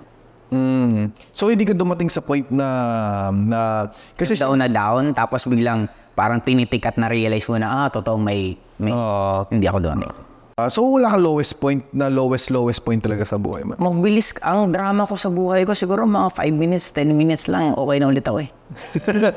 Ganun ka lang kabilis. Ganun kabilis eh. Kasi parang wala namang pupunta na eh. oh. Pag iyak ako ng isang linggo, after nun, haharapin ko pa rin naman yung problema ko. Totoo. Kaya ngayon, pinaharap ko na diretso. Mm. ko na agad lagi. Mas gusto ko tapusin na agad para kaysa papatagalin mo yung lungkot, harapin mo na. Para pag naharap matatapos mo, mas mahaba yung saya mo. Mm. Napanood ko nga pala, doon parang sinabi mo na lahat ng pagdadaanan natin is tatawanan din na. Lahat ng problema, pagtatawanan. Eh, eh ba't hindi na lang pagtawanan na? Ngayon pa lang pagtawan niya. Yes. Ano ba yung motto mo sa buhay? Ah, ano bang motto ko sa lahat? Wala. yung prinsipyo mo. Parang napaisip ako din ah. Moto, moto. Alam ko moto yung mga noon. Time is gold. Guys, Moto ko sa lahat. yung pinanghahawakan mo. An example. For example, ako, motto ko talaga is, uh, eto, yung tinato ko dito, everything happens for a reason. Naniniwala ako na lahat ng bagay, masaya mo. Naniniwala ako na ang design natin sa buhay natin, bago ka mamatay, gaganda pa rin talaga buhay mo. Kumbaga, laging meron kang point na pagdating ng oras, magiging maayos ka pa rin. Mm, so naniniwala ka na lahat ng tao is Kung lang pinagdadaanan nila na negative ngayon, dadaanan mo lang yan. Malalagpasan at malalagpasan mo yan. May mga mawawala, pero may kapalit palagi na mas better pa dun sa nawawala. Mm, okay. Kapag, uh, ah, ito naman, kapag pumunta ka sa 18 years old self mo, Hmm. ano sa tingin mo yung mabibigay mong advice sa kanya na para mas mag-improve pa yung life mo ngayon? And that, wala akong Ayaw mo. Tuloy mo lang ginagawa mo. Kumbaga, sobrang akong satisfied sa life ko ngayon. Ayaw kong baguhin. Mm, Kumbaga, kasi pag may in-advise ako sa kanya, baka mag-iba yung nangyayari sa akin ngayon eh. Eh, sold naman ako sa nangyari sa akin ngayon. Kaya yes. Mm. wala akong gustong baguhin. Kung hindi naman baguhin, ano nila yung pwede mong i-advise na siya? Kunyari, meron kang opportunity na you can go back in time at maharap mo yung sarili mong 18 years old self mo. Ano yung sasabihin mo sa kanya? Ah, siguro sasabihin ko lang, huwag masyadong magpapaniwala sa love, mas mag-concentrate sa sarili. Sa lawi? Sa mga karelasyon. Kasi ang daming oras na ubus ko sa mga love-love na yan eh. Na, Oo, eh. ito, hindi naman kayo nagkatuluyan. Hmm? Oo, kasi meron akong isa, seven years kami. Tapos ang ko pang oras na ubos. Ang dami ko pang ginastos. Eh kung pinokus ko lang sa pagpapayaman, di siguro mas lalong mayaman ako ngayon. Kaya para sa akin, ano eh, we should learn to prioritize and love ourselves more than anyone else. Even parents mo yan, anak mo yan, asawa mo yan, mas unahin mo sarili mo kaysa ibang tao. Naniniwala ka ba na isang negosyante is lalong tataas basta makahanap ng right partner? Makakatulong, sobrang tulog. Ano yun, your partner can make or break you eh. Kasi end of the day, pag uwi mo siya, kaharap mo eh. Ang tanong, motivated ka pa ba pag uwi mo? Or down ka na nga, pag uwi mo, lalo ka pang na-down. Or pag nangangarap ka, imbis siyang sumuport siya, pa nagpapabigat sa'yo. Kaya dapat ang pagdidesisyon ng partner, para siyang pagninegosyo na Mam, sasabi ko nga eh, mamili ka muna ng marami, tumikim ka muna ng marami para malaman mo kung ano para sa'yo. Huwag na wag isa lang. Kasi nga, minsan, swerte mo kung makahanap ka agad ng para sa'yo. Pero kung hindi, mas maganda, ma-testing mo iba-iba, tapos kung mag-live-in kayo, mas okay.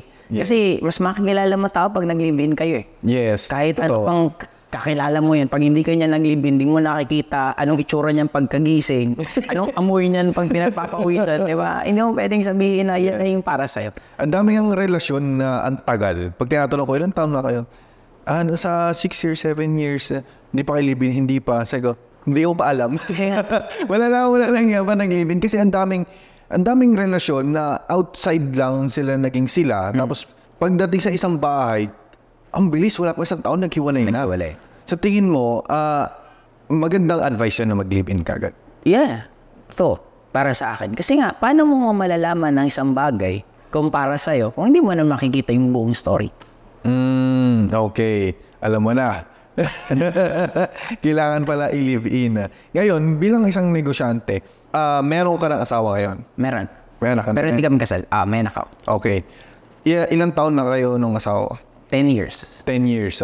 So masasabi mo, ano ba yung sa, sa tingin mo na secret formula, kumbaga, na para maging healthy relationship while handling a business? Siguro ano, kailangan nyo rin pareho manansya. Kung mainit ang isa, tumahimik ang isa. Parang ganun lang kasimple yun. Yeah. Kaya magbigayan kung sino yung nakita mo ng mainit, magbigayan kayo. Mm. Tapos, ano, it's an unending adjustment. Kung baga, hindi na enough na mahal kita, mahal mo ako, magmahalan tayo habang buhay. Hindi ganun eh. Kasi parang negosyo din siya eh. May ups and downs ang relationship. Yes. Maraming adjustment. Kaya dapat ready kayo na mag-adjust sa bawat isa para sa lalong ikakaganda ng relasyon. Mm. Ngayon naman sa anak mo, pagtatapusin mo pa siya ng college? And depende sa kung trip niya, kung gusto niya matapos. Pero mas, ano ko, homeschool ko yung anak ko. Papadaanin ko muna siya ng konti sa school para mas magkaroon ng experience. Pero mas more on, kung ano ang trip niya, yan ang ibibigay ko. Kung ano Support niya. Paano kung ayaw niya maging negosyante? Eh, decision niya yun, buhay niya yun. So, supportan ko siya. Paano kung gusto niya maging hacker? Eh di, okay. Sento mo ko ng pangarap. Ang galing. Basta more on support, hindi ako magiging controller na magulang. Kung ano yung gusto mo, i-guide lang kita, susuportahan kita. Ito ang medyo controversial na question. Diploma o diskarte? Diskarte. Ang bilis ng sagot mo doon ah. Dali lang naman ang sagutin yan. Ah, bakit diskarte? Eh, ang daming may diploma na wala narating sa buhay. Pero ang daming walang diploma na madiskarte, na ang daming narating sa buhay. Kasi dulo, iba naman ang, sa school kasi ang, ang form of exams nila is gaano ka kagaling mag-memorize.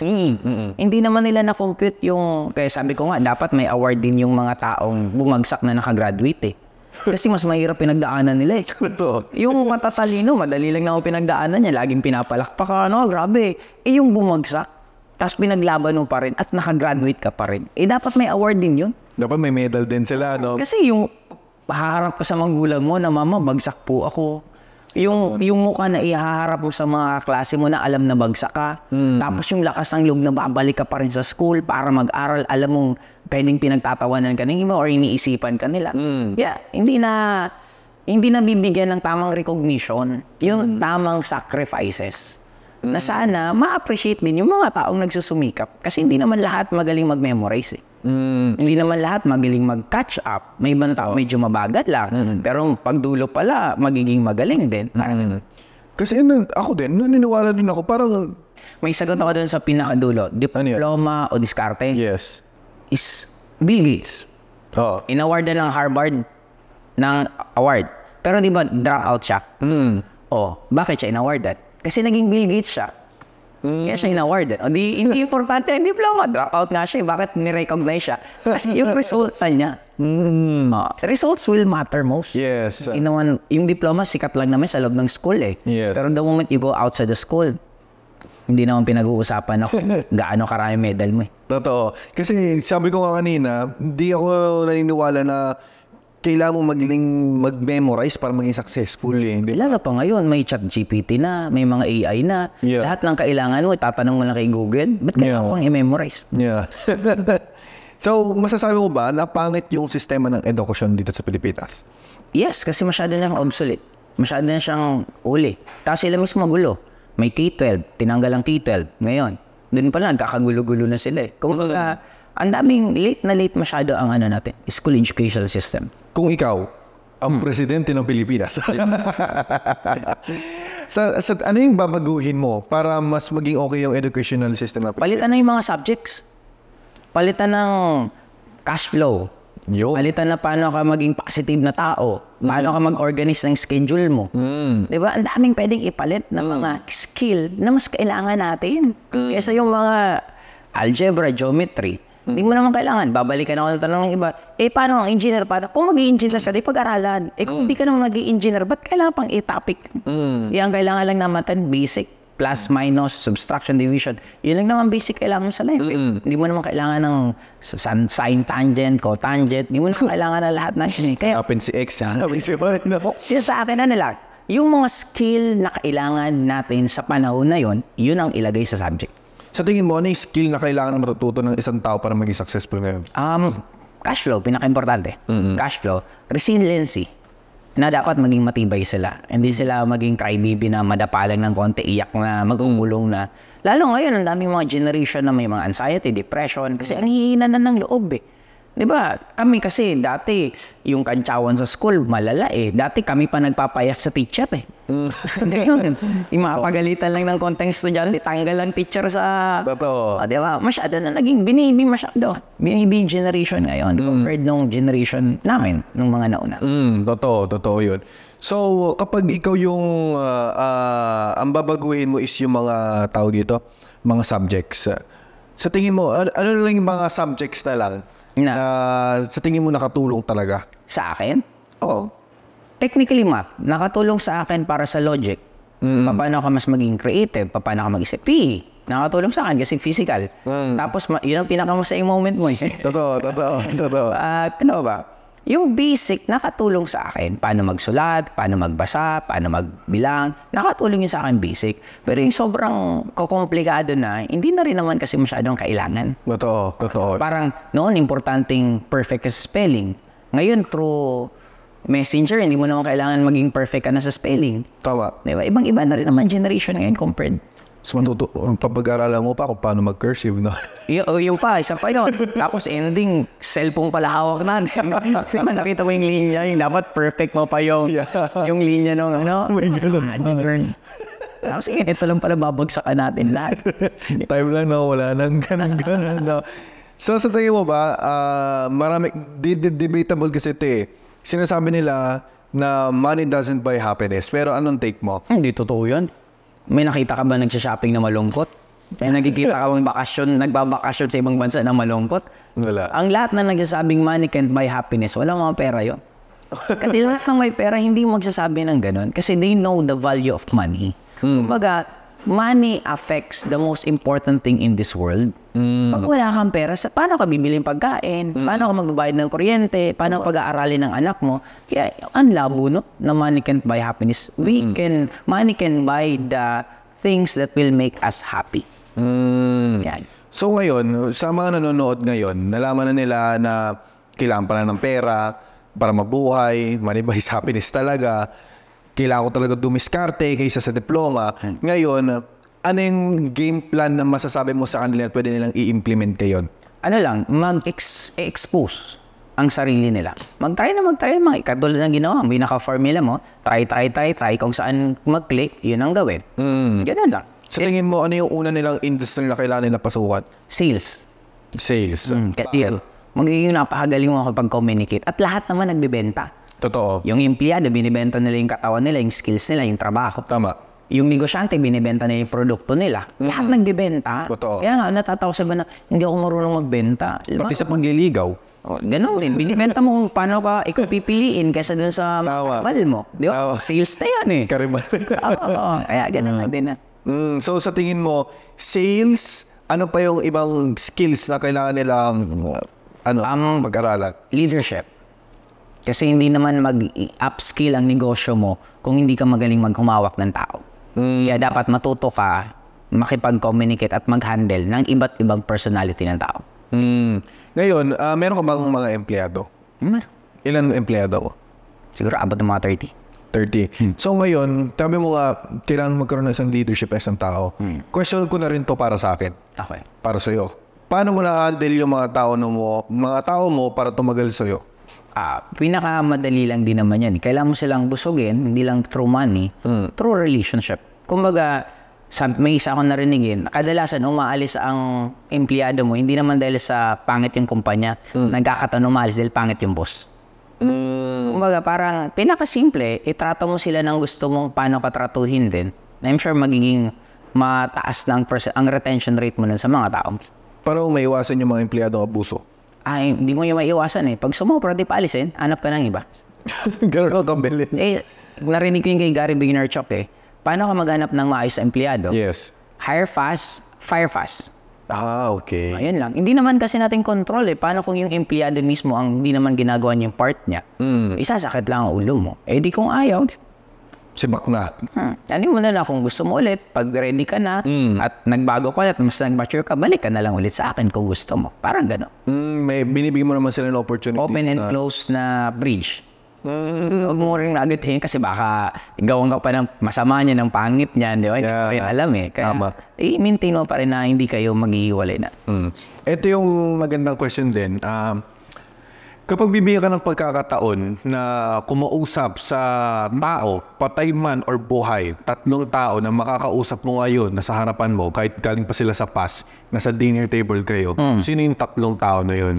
Ah, nasa dulo ng dila ko. Pero bago mo sabihin yan, Sige. sa pagbabalik ng ating Lazy Genius Podcast. Alam ko kayong mga nanonood ngayon, gusto nyo maging successful, pero wala kayong budget or wala kayong pera. Well, ang ginawa ko is ni-recreate ko yung course ni Andrew Tate. Meron siyang Hustlers University at ni-replicate ko siya at nilagay ko siya sa Facebook group at binigay ko siya for free. Ang free Facebook group natin is Lazy Genius Club. Naglagay ako doon ng mga free course like affiliates, dropshipping, e-commerce, copywriting, Facebook ads. Lahat ng mga free course is nandun nakapost for free. At nag-weekly live Q&A ako doon para sagutin lahat ng mga tanong ninyo. Makakatulong talaga itong so yung free group na to. Itong free group na to is nasa 50,000 members na. At dito is nag-share ng mga value, tips, advices para mag-grow pa to each other. At ito ay 100% for free. Kaya kung gusto nyo sumali, just subscribe and link down below para makita nyo kung ano yung link ng Lazy Genius Club on Facebook. See you! Welcome back to Lazy Genius Podcast at masyado napahaba ang aming pag-uusap. Ngayon, uh, sino yung tatlong person na gusto mo makausap, patay man or buhay, galing pa man yan sa past or, buha- or nandito pa rin ngayon at nasa dining table kayo, sino yung gusto mong makausap? Um, Bakit? Una, Nikola Tesla. Bakit? Ang gusto ko malaman kung paano niya nagawa or kung ano talaga pinaka-formula niya na nagkaroon siya ng kuryente na hindi mo kailangan ng wire. Kung makumukuha siya ng kuryente sa atmosphere, yan ang ginagamit ng mga sinaunang tao before na kaya halos kaya mo mag-generate ng kuryente na hindi mo kailangan ng source. Bakit mo siya gustong mamit? Meron kang tatlong pagkakataon, ay tatlong tao. Bakit ko malaman kung paano niya ginawa. Eh, mali mo ma-apply natin, delivery na kuryente natin ngayon. Ayun lang. Kasi inaana yung mga naiimbento ng mga katulong sa mundo, Hmm. sinosoppress eh. Kasi maraming malaking negosyante Tama. makapektuhan. Tama. Kaya eh, naniniwala ka rin ba na meron talagang gamot talaga sa cancer? Hmm? Hindi ako naniniwala. Alam kong meron talaga. Oo. Alam mo, meron talaga. Kasi para napakasimple. Tingnan mo ngayon ang sakit. Lahat na lang may maintenance. Wala nang sakit na gumagaling ngayon. Lahat, lagi na lang na ito take mo habang buhay. Di ba? Doon pa lang maiintindihan mo na.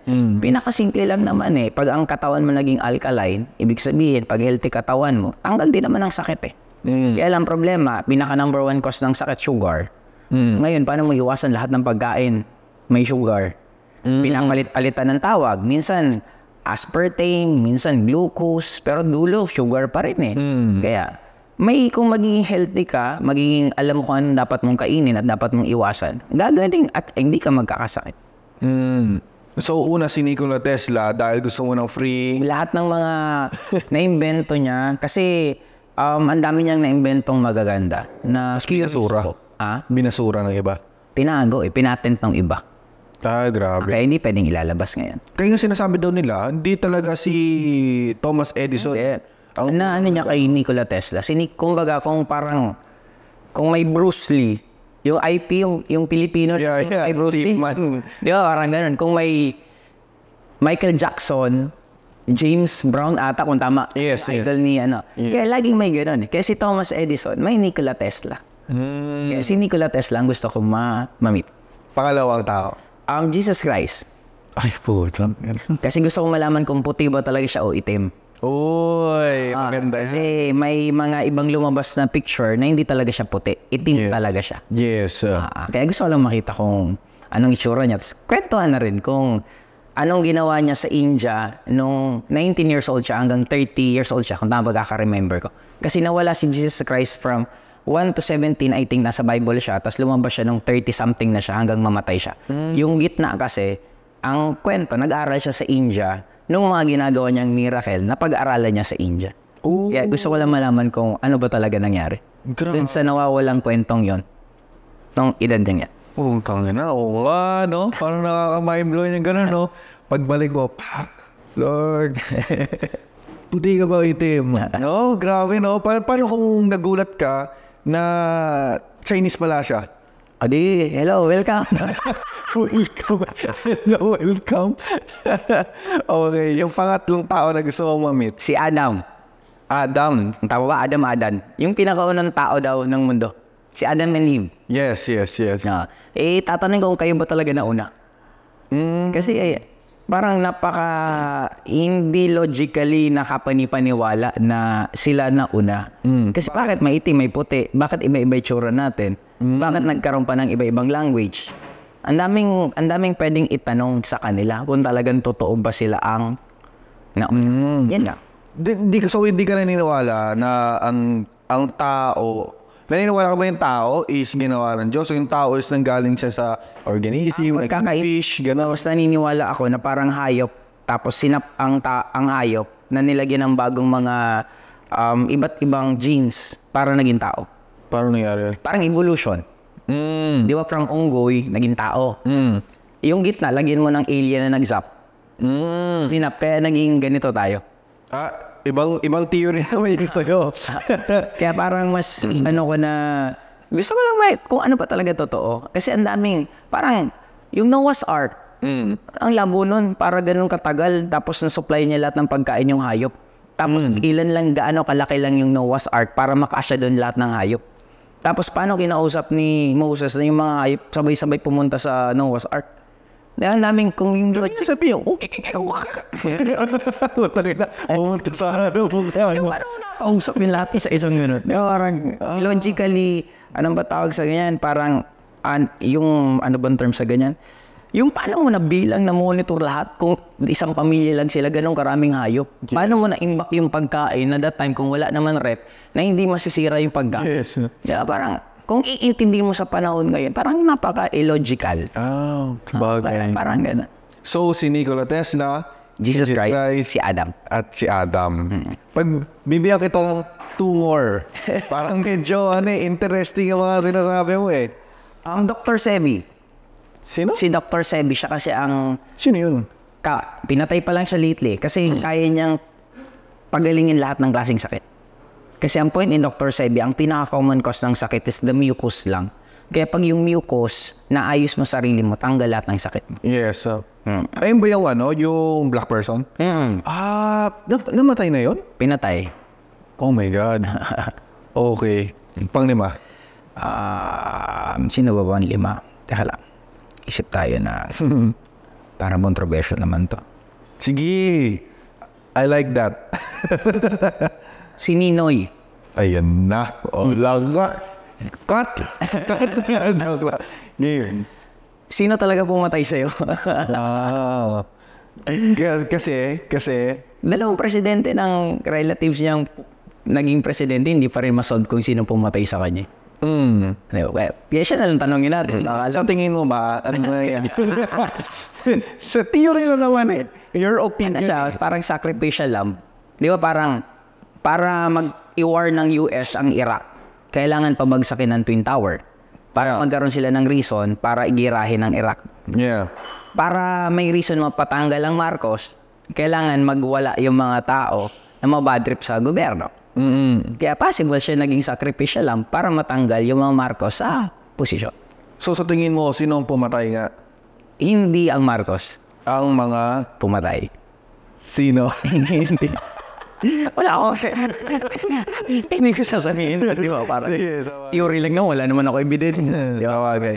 So yung ayun yung limang tao na gusto mong makausap dahil ayun yung parang pag meron sa lang sinabi na na answer, masosolve na lahat ng mga gulo sa Sa utak ko. Hindi ako sa mundo. Di ba? Parang curious lang ako na parang how I wish na makausap din sila. Parang ganun. Hmm, sabagay.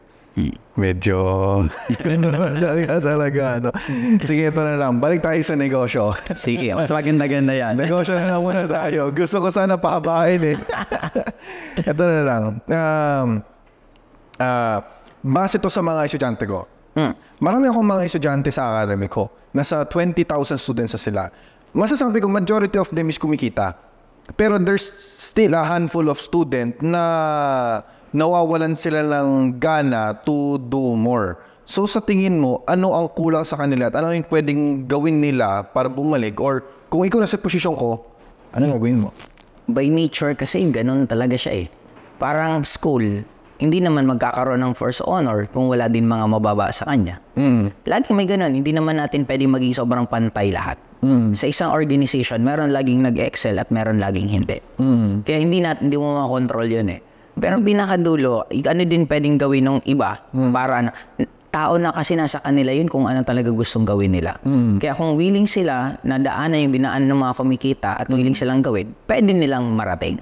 Pero kung hindi sila mag adjust hindi sila mag adapt kahit anong gawin natin or mo, wala tayong, parang Pareto principle na yung 80% na sales laging galing sa 20% lang ng workforce mo. Kaya parang ganun lang siya kasimple. Hindi, parang sa isang bundok, meron magdo-dominate lagi na species na puno. Yeah. Sa isang bundok na yan. Kaya ganun din ang, by, ako laging binibis ko lang ang pag-iintindi ko ng sa negosyo, sa nature. Na normal lang talaga na hindi pwedeng lahat magiging pambalanse lang ng mundo. Mm, okay. Ano yung ma-advise mo sa nila para malabas yung potential nila? Kasi alam, al- sabihin natin, meron kasi akong nakausap, sabi niya na, alam mo, Coach Franklin, alam ko may potential ako eh. Alam ko kaya ko to eh, kaso mm, parang di ko malabas. Ngayon, kung ikaw yung kinausap Ano lang, eh, gumawa sila ng mga small victories. Kasi kaya hindi niya nalalabas, wala pa rin siyang tiwala sa sarili niya eh. Kasi kung may tiwala siya, hindi na siya magtatanong ng ganyan eh. The point Yeah. na nagtatanong siya, wala siyang tiwala. Ngayon, kailangan niya lang magkaroon ng confidence sa sarili niya and for them to do that, gumawa sila ng mga bagay na hindi pa nila nagagawa pero madali nilang magawa. In short, if you are earning 10,000, ano ba naman mangarap ka kumita ng 15 mil, kumita ng 20,000? Kasi dun mas excited ka eh. Rather than kumikita ka ng 10,000, ang goal mo agad kumita ng 100,000, ma-frustrate ka Yes. at mas madalis na hindi ka tutuloy. Kaya sa akin, small victories. Gumawa lang sila mga maliliit na bagay na parang bahay. Gusto mo linisan ng bahay. Ang hirap eh, pag buong bahay. Yeah. Linisan mo lang yung pinto mo, yung drawer mo, doon lang. Manggigigil ka na eh. After Yeah. masimulan, linisin ko na kaya to. Yes. Linisin. Ma- Mansin mo lang, buong bahay na linisan mo eh. Kaya ganun lang din. Simulan lang nila sa maliliit na alam nila na kaya nilang gawin. yung Iinit alam nila eh. achievable. Yeah. Iinit din yan, magtutuloy-tuloy din yan, at magugulat ka na lang, ang layo mo na pala. Mm, okay. May, AD, may ADHD ka ba? Hindi ko masasabi kung meron or ano. Basta hindi ako nakakontento pag wala akong ginagawa. ADHD nga. Kasi actually, di ko naman tinatanong to sa loob ng podcast. Tinatanong ko to nasa dinner time na. Kasi tinitingnan ko kung totoo ba na nangigigil ba sila kapag uh, hindi nila matapos ang isang bagay na nasimulan nila or nangigigil ba sila na hindi nila matutunan ang gusto nila or yung mga sinabi mo nga kanina at lahat sila meron. So, tingin mo, kailangan ba? Ang ADHD. Oo. Sa akin siguro ang pinaka-importante lang yung drive. Yung drive. Kasi kung may drive ka naman, lalabas din naman lahat at ibibigay lahat ng skills na kailangan.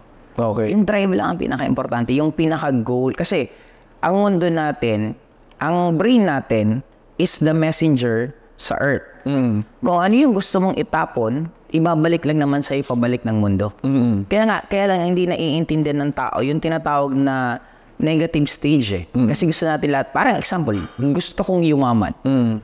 Tapos nagtataka sila, nung sinabi ng gusto nilang yumaman, natanggal sila sa trabaho, Mm. nabaon sila sa utang, Mm. to, dumami yung problema nila. Mm. Biglang, ala, bakit ganito? Hindi nila na-realize, piniprepare na sila ng mundo para dun sa buhay na gusto nila. Kaya kailangan nilang mahirapan, kailangan nilang, example, bakit ka nawala ng trabaho? Kasi nga pinaparealize sa'yo na mas bagay sa'yo, mas malaking kita. Kaya tinanggal sa yung barya para dun ka na mag-focus sa malaki. Mm. Kaya ka pinapahirapan para tumibay ka kasi yung pagiging matibay mo, yun ang gagamitin mo para dun sa success na gusto mong puntahan. Kaya in short, ang earth, ibibigay niya lang kung ano yung gusto mo. Mm. Naniniwala ka sa ganon. P, sabi mo nga eh, parang yun ang earth eh. Kaya tayo may creator eh. Kasi kung ano yung, parang sa sitwasyon mo ngayon, years before, pinangarap mo yan. Mm. Pinangarap mo sitwasyon mo, pinangarap mo yung nakaupo kang ganyan, pinangarap mo yung ganito ka. Inisip mo na to before pa, bago pa mangyari ngayon. Yes. Kaya technically, lahat ng gusto natin na nangyayari ngayon, one way or another, inisip mo yan ng past mo. Mm, kumbaga, merong uh, quote na sinasabi kapag nahihirapan ka na sa tamang landas ka na. Oo, kasi parang hagdan yan eh. Pag pataas, mahirap eh. Pag pababa, mabilis. Yeah. Kaya pag, pag, pag, pag nahihirapan ka, good news. Ibig sabihin, pataas ka. Yeah. Pag sobrang dali, parang, di ba sinabi to ni Andrew Tate? Sabi niya kay kapatid niya, Tol, ang ganda ng buhay natin. Mm. We have lots of cars. We have lots of money. Sikat tayo, ganito, ganito. Ang dami natin babae, bla bla. Delikado to. Why? Puro magaganda nangyayari sa atin. Ang sunod nito, hindi. Then after dun, dun sila nakulong. Mm. Stages kasi. Mm. Ha, ganun lang din kasi. Mm. Sa bagay, sa bagay. Oo, pag sobrang perfect ang buhay, mas kabahan ka. Anong kasunod niya? Di ba? Parang kahit gaano kasarap yung ngiti, yung tawanan nyo, after nun titigil yung tawa eh. After susubside, tatahimik. Mm. O ganun din ang buhay natin. Kumbaga sabi sa akin ni Chingitan dati, nung in-interview niya ako, mga after ng interview, parang daan-daan ka kasi the bigger you are, harder you fall. Naniniwala ka sa ganun. Siyempre, eh, ganun naman di. mm, sa bagay. Ngayon, sa mga taong takot naman mag-risk, Hmm. ano yung mapapayo mo sa kanila na ano sila, empleyado sila. Pero gusto nila magnegosyo, pero natatakot sila. Sa tingin mo, ano yung ma-advise mo sa kanila? Hindi, kung ayaw nyo mag-risk, huwag na kayo mangarap yumaman. Yun lang, kasimple yun. Huwag mo nang pahirapan sa sarili mo. Makontento ka na, mag-enjoyin mo na yung buhay mo. Enjoyin mo na yung pumapasok ka kahit hindi mo treat.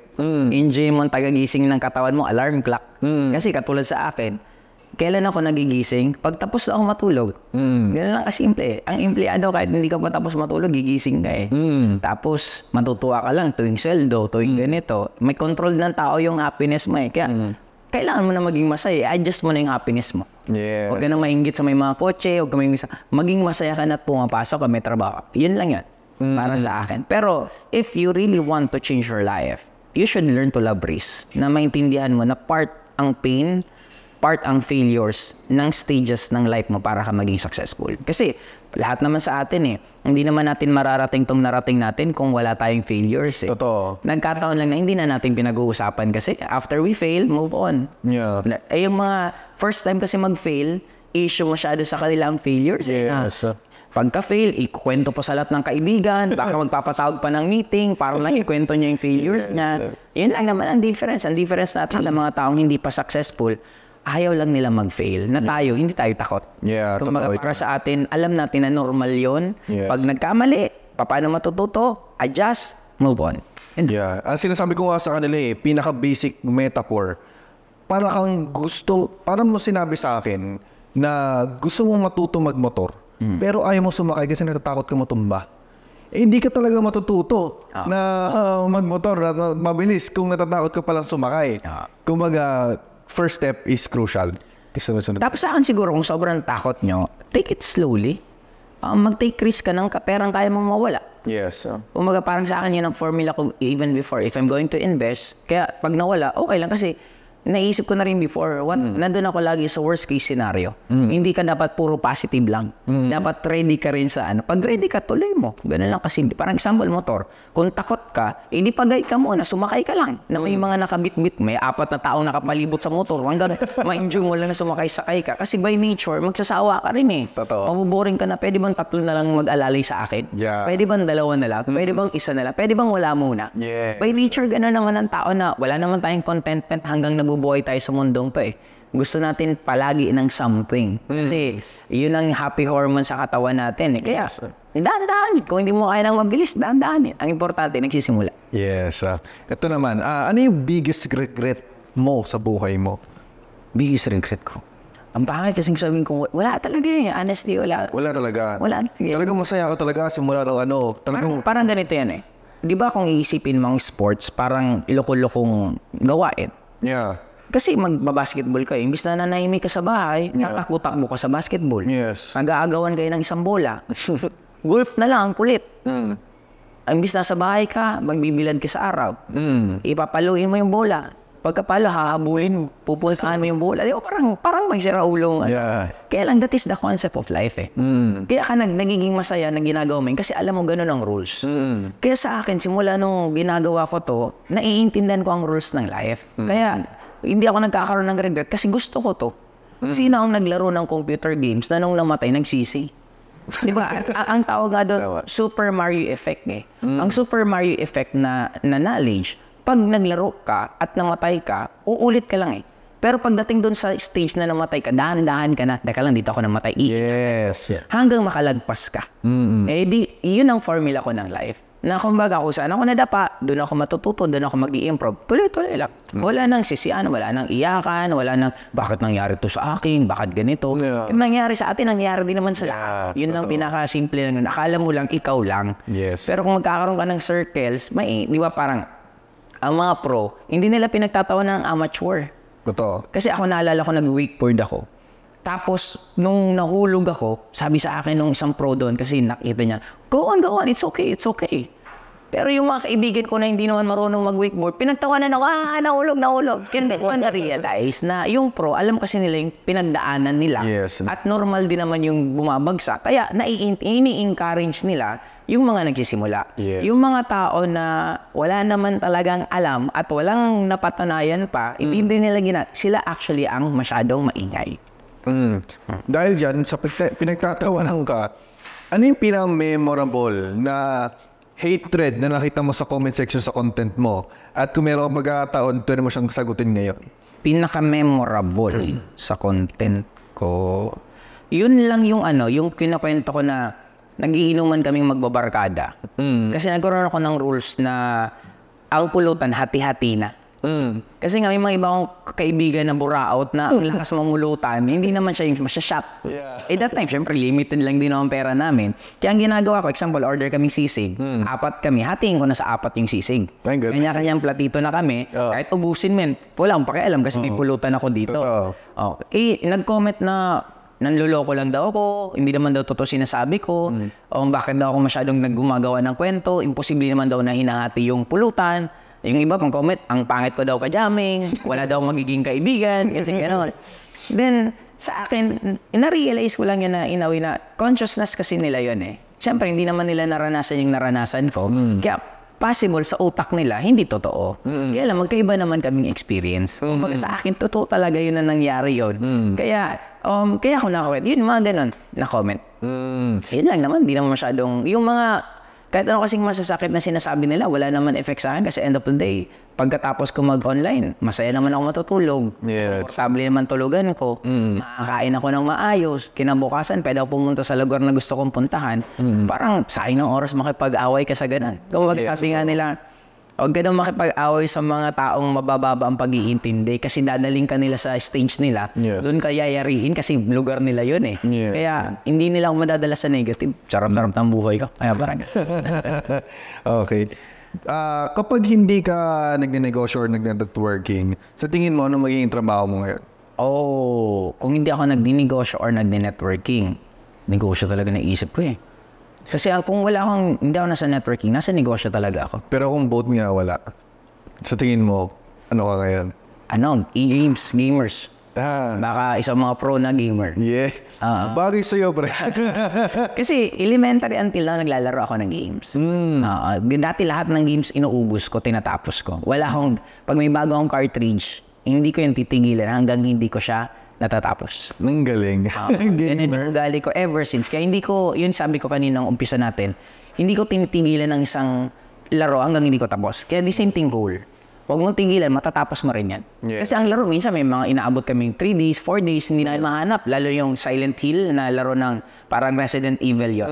Yung Silent Hill, ang hirap hanapin na yung mga puzzle kung paano yes. gawin. Hahanapin mo pa yun. Kasi dati wala naman mga pwedeng Yes. basahin. Kaya inaabot kami 3 to 4 days, 5 days, pero dulo, natatapos pa rin eh. Kaya yun ang isang pinaka natutunan ko sa games. Huwag mo lang tantanan, matatapos mo rin yan. Kahit gaano kahirap ang boss, kahit gaano kahirap ang talunin, kahit gaano kakaraming beses mamatay, makakaisip at makakaisip ka ng way paano yun matatalo. Kaya doon ko siya na itawid sa buhay, sa totoong buhay na Yes, ah. kahit ano pang pinagdadaanan mo yan, meron at meron yan solusyon. Kahit nakarami ka ng tries, damihan mo pa para mahanap mo yung solusyon. Okay. So ngayon, ah, bilang negosyante at bilang content creator, knock on wood naman, pero bago ka pumanaw sa mundo, ano yung gusto mong makita nila sa iyo na um, how would you like to be remembered? Yung content ko, okay na ako. Yung sa YouTube kong mga content. Pero bilang, uh, kunyari, ah, si Joseph Lim, ano siya? Ah, bilang- ano, naging gusto ko marinig na yung sitwasyon ko ngayon, yung success ko, naging part ako nila. Mm, Kumbaga, siguro yung teaching ko nakatulong, yung mga times na gusto nila mag-give up sa dreams nila, nung napanood nila yung content ko, biglang nabuhayan ulit sila. Mas gusto ko doon ako mas maalala ng mga tao. mm. So ngayon, um, ah, tawag dito, gusto mo ba na maging rich pero hindi mo passion yung ginagawa mo? Mm. Or, Maging mahirap, oh, pero passion ginagawa mo. yes. Doon ako sa rich na hindi ko passion ginagawa. Bakit?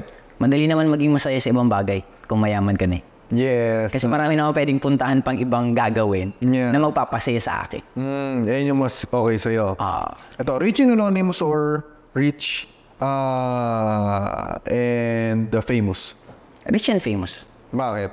Para mas makapag-inspire ng mas maraming tao. Kasi ang uso na nga noon eh, ang mga mayaman nagtatago eh kasi ayaw nilang ituro yung mga skills, knowledge nila. Eh ako mas gusto kong ituro. Actually lahat tinuturo ko sa social media ko. Wala akong wala akong tinatago, lahat Wala kang gina-gatekeep.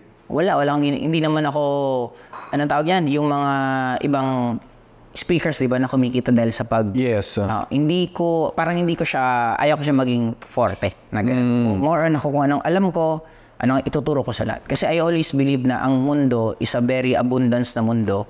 Babayaran ka ng ginagawa mong tulong sa mundong to. And for me, mas more than pa yon kaysa sa tao na babayaran ka. How do you stay motivated ba? Um, ano lang, may mga tao ako parang parang ganito. May certain music akong pinapakinggan pag may gusto akong certain emotion na ma- ma-achieve. Ah, parang like okay. yung sinasabi, it the emotion that you need. If I need na mas mag-expand ang consciousness ko, mas mangarap, Grant Cardone. I don't know kung kilala mo si Yes, yan. Kung gusto ko naman mas matuto about pag hahawak ng, ng corporation, ng mga businesses, kay Patrick Bet David. Yes. Oo. Pag gusto ko naman ng yung hard work, lalong manggigil si Kobe, paano ang work ethics niya, paano siya naging Kobe Bryant. Kaya may mga certain person akong sinusundan, depende kung anong gusto kong emotion. Mm. Kaya pag motivated naman, exposure lang. Makikipag-usap ako sa mga taong mayayaman, mas mayaman sa akin, imimit ko sila, kakausapin ko, dun pa lang. Or pupunta sa lugar na alam mong pang mayaman, yan. Yun ang ginagawa ko para mas lalo akong ma-motivate sa life. So nakapag ah, dis- ah, nakapagsabi ka nga ng mga content creator na lagi mo pinapakinggan. Ngayon, um, ang question ko sa iyo, sino yung tatlong content creator na sa Pilipinas na nire-recommend mo na ipakinggan nila? Okay. Except sa'yo, syempre. Oo, oh, syempre naman. Syempre naman. Yun ang kasama dyan. Teka lang. One way or another, kay Chingitan.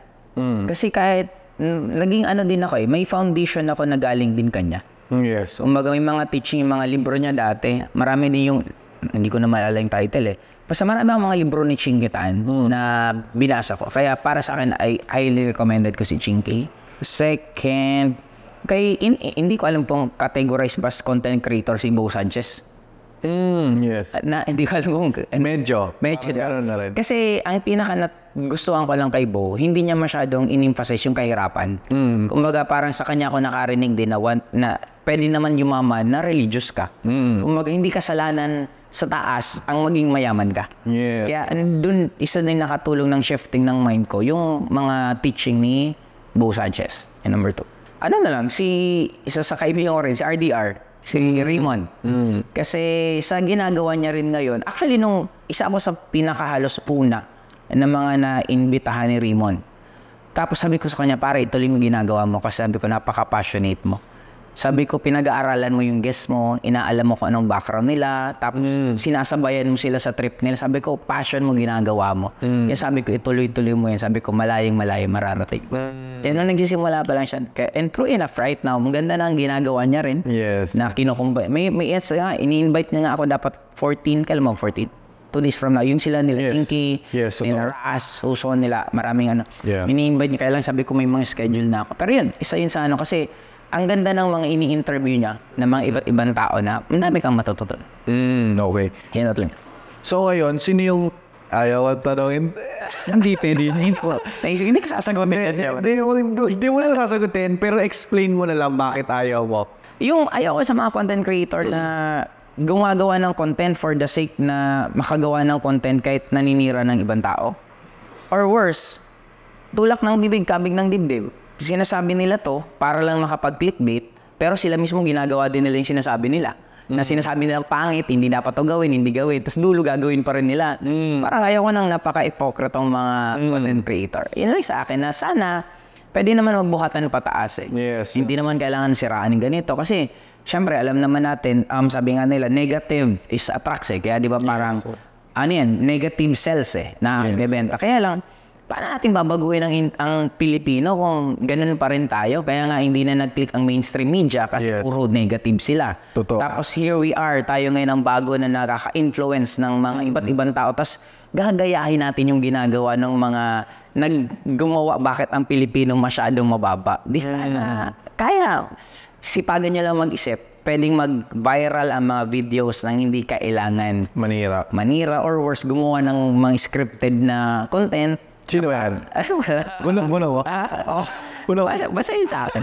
Kapag, ah, mas masarap maging positive eh. Mas masarap Yes. na magbuhat ang pataas. Ang sarap na darating ang time pagtanda natin na pwede natin sabihin, isa tayo sa naging part bakit ang Filipino umangat ang Yes, consciousness. yan. Totoo. Yeah, So ngayon, ang pinaka magandang question sana sa iyo na gusto kong itanong is uh, last question natin bago tayo mag-fast talk ah, is pagkagising mo hanggang sa pagkatulog, anong ginagawa mo at anong oras mo siya ginagawa? Ngayon na, o yung mas medyo boring ngayon eh. Ngayon, Hindi, sige, yung dati muna. hassle talaga ako. Simula umpisa hanggang matulog. Simula, gumigising ako, magsimula akong work before mga 10. 10 to 11 presentation, 11 to 12 presentation, 12 to 1 presentation, 1 to 2 presentation, 3 to 4 presentation, 4 to 8 flyering, maybe of flyers, 8 to 12 leaders meeting, meeting. Doon ako ikot mundo. Grabe. Talagang doon mo inubos yung oras mo. Wala akong ibang mundo. Wala. One time kami sa akong kaibigan na artista. Nung ini-invite niya ako, sabi niya, Uchong, birthday mo ngayon. Yaya ka ng kaibigan mo na hindi networker. Pag check ko sa phone ko, pucha, wala pala akong kaibigan. Kinito Nako po. Doon talaga umikat mundo ko. Doon Sa talaga. networking talaga. Lahat ng kaibigan ko, lahat ng ano, circles ko doon, lahat umiikot. Tapos pag hindi tungkol sa, pag networking ang kinaribal mo, kaya yung mga ex ko na mga negative sa network, break. Yung kahit mga special ano nila, pag networking nakasabay, kahit birthday mo yan, graduation mo yan, pag networking nakasabay, networking uunahin ka. Mm. Kumaga napaka-clear ako sa gusto ko. Mm. Ngayon na lang ulit na may mga ibang organization ang sinasalihan, may mga iba akong circle of friends na outside networking, lately na lang, pero noon talaga. Okay. So ngayon, ano na yung ano, routine mo ngayon? Routine ko, pagkagising ko sa bahay, mga gising mga 10, pagbaba ko ng bahay, nakatimpla na yung kalamansi juice ko. eh, inumin ko na lang yon na malikam ka. Yan ang first ko iniinom eh. Wala, Maligam-gam? Oo. Tapos wala yun na sukal, wala yun. As in, purong kalamansi. Tapos, Bakit? Anong reason? para mas mag-healthy. Mm. Kasi vitamins eh. Ah. tapos after nun, yung trabaho na ako niyan, pwedeng mag-gym muna. After gym, balik ng bahay, tapos trabaho, tapos mga 2.30 lunch namin ng wife ko. Magkasabay kami lunch. Mga 3.30 matataas balik ulit ako trabaho. Tapos hanggang tuloy-tuloy yun, mga 10, dinner naman namin. 10 dinner? Parang late ang dinner niyo. Late din yung lunch namin eh, 2.30. ah, sa bagay. Dalawang beses lang naman kami kumakain, di kami nagbe-breakfast. Okay. Tapos after ng 10, after ng dinner, trabaho ng mga 30 minutes pa kasi abang pinapaliguan yung anak ko. Yes. Then after, papatulugin ko yung anak ko, mga 1 or 2, Netflix time namin ng wife ko. Araw-araw? Ah, ah. Ay, wait. Ah. Wow. matatapos kami mga 5, then tulog, ganun ulit. Bigising. Mahalaga ang baby time. Mahalaga ang baby time. Anong yung, yung baby, as in baby ko yung sa wife ko? Wife mo. Wifey time na lang. Um, oo din kasi parang negosyo din siya eh. May i-maintain ka rin eh. Um, Siyempre dapat hindi lang naman puro negosyo. Kaya nga ang role natin marami. May tatay, may anak, may asawa, may kaibigan. Dapat marunong ka mag-shift shift. Yes. Hindi ibig sabihin amo ka sa trabaho mo, pag uwi mo, boss yung asawa mo. Hindi ba parang marunong ka rin mag-shift. Hindi mo pwedeng hanapin yung yung pan yung ano yan, kung paano ka tratuhin ng mga sa negosyo, hindi pwedeng yun din ang hanapin pag nasa loob ka ng bahay. Tama. Kaya parang dapat matuto ka rin mag-adjust. Dahil sinabi mo yan, ito na pinalast question ko na lang. Ano lang yung five? Five na Netflix movies or series na marirecommend mo? Oh, Di ba? Taiwan, number one. Mm. Um, ano pa ba? Bakit? Tungkol sa negosyo, eh, entrepreneurship eh. Mm, okay. Hindi mo ba nang panahon? Hindi pa. Ay, pare, sabihin ko sa'yo. Matatapos Solid. mo yun. Solid na solid. Okay, okay, okay. tayo. Maganda yan, okay. Uh, uh, ano pa ba? Yung, yung Chloe, pero ano lang, pakilig. for, na, nanood kasi ako ng Netflix nung nag-pandemic lang eh. Yung nanood talaga ng Netflix kasi for me parang sayang ng oras, parang ganun. Pero marami din kasi maraming iba kang pwedeng mga matutunan. Mas gusto ko manood mga documentary. Mm. Mm-mm. Yung parang, yung money system, paano yung money system, isa yun. Yung ano, video din ni Anthony Robbins na Yes, training yes. niya, isa yun. Yung documentation ng Last Dance. Ay, tama ba? The Last, yung kay Michael Jordan. Yes, yes, The yes. Last Dance ata. Yan, yung mga ganun. Yun ang pwede kong mar- Tama, ilan na? Um, Itaewon, Chloe, yung Crash Landing on You. Napaka, ay, ay, gusto mo lang kiligin. O, di ba? Para maiba. Yeah. Kay Anthony, Anthony, An- tama ba? Anthony Robbins. Kay Anthony Robbins. To- Tony Robbins. Ah, Tony Robbins. Kay Anthony Robbins. Ah. Oh, parang, ah, Ton- Tony Robbins. Tapos yung Last Dance ni Michael. Ano din? Sorry, Blackpink na documentary. So, parang, kasi makikita mo kung gaano kahirap pinagdaanan nila. Mm. Mm, Blackpink na documentary. Isabay mo na kay Steve Aoki, yung DJ. Mm. Ah, ah, more, more ano, doc, basta gusto ko kasi pag pinapanood ko, ang tanong ko lagi, anong matututunan ko dyan? Mm. I sell, pag tamad ako mag-isip, action. Kasi hindi ka mag-isip, nagbabarilan ng Yeah, yeah, yeah, yeah, yeah. Kaya pinagtatawan ako ng asawa ko pag nanonood ako, alam niyang tamad ako mag-isip, wala ako sa mood. Mm. Kaya yun napapanood. Pero pag nasa mood ako mag-aral, mag-documentary talaga. Okay. Six or chocolate. Pero bago masagutin yan, sa pagbabalik natin si Genius Podcast. Sa mga hindi nakakilala sa akin, I'm Franklin Miano. I own 10 businesses here in the Philippines at yung mga businesses na kilala na ginawa ko. Vivid Smile, Phenomenon Apparel, Empire Clothing, MSB Academy at Frank Media. Ayun yung mga kilala sa mga businesses ko and lahat ng mga businesses na pasukan ko na sa franchising, sa restaurant, sa clothing, sa cosmetics, and even sa networking pinasok ko na din. Pero ang goal ko kasi sa buhay is makahanap kung ano ba yung business na sobrang dali lang gawin pero malaki pa rin ang kita. In the past 10 years of doing businesses, nag-trial and error ako sa lahat ng mga businesses and I found the one best business. Literally, hindi mo na kailangan ng skills, experience at ng pera para makapagsimula at maganda sa bahay lang to. Hindi to get rich quick scheme, hindi to scam. Ang business model na to ay outsourcing business. Kino-connect mo lang si customer sa supplier. Ito yung business na ginagawa ko at marami na akong clients at marami na akong natulungan. I have 20,000 students at nag-post ako ng 1 hour free tutorial dito sa YouTube at tinuro ko dun yung 6 steps kung paano to gawin. Pinost ko lang ito for free. Wala kayong babayaran ni isa. Nandito lang sa YouTube. Yung literal na tinuro ko sa loob ng academy, tinuro ko dito sa YouTube video na to. Ang gusto ko lang nakapalit ah, is isubscribe mo lang ako. At ginawa ko tong free tutorial para makatulong sa mga wala pang budget para makapag-enroll dun sa loob ng aking program. Sana makatulong tong 1 hour free tutorial at let's go back to the podcast. So, bumabalik na ang Lazy Genius Podcast at tatanungin na natin siya ng matinding, mabilisang fast talk. Ready ka na ba? Actually nga, nung nanonood ako niyan kay Tito Boy, sabi ko pag tinanong kayo sa akin, kaya ko kaya. Kaya nga nung nakita ko may fast talk, eh, dito lang ako kakabahan ngayon. Kaya sige, ayoko nang patanggalin yung kaba ko. Tamusin natin na. okay. Ano yung pinaka-craziest thing na ginawa mo sa love? ah? Ah, putsang na. Ano, yung girlfriend ko, yung ex ko, nahuli kong may kasamang lumabas na lalaki sa isang gimigan. Hmm. Hindi ko mabugbog yung lalaki kasi kaibigan siya ng kaibigan ko. Kapatid siya ng kaibigan ko. Hmm. Yung girlfriend ko gusto ko ng breakan. Mm. Kaya lang wala naman akong reason kasi ang rason niya, lumabas lang naman sila kumain. Eh yun nga naman talaga. Ginawa ko, umuwi ako ng bahay nila, umakit ako ng puno. Hmm. Inaantay ko siyang iatid. Pag nakita ko nag-kiss sila, bibreakan ko na yung girlfriend ko.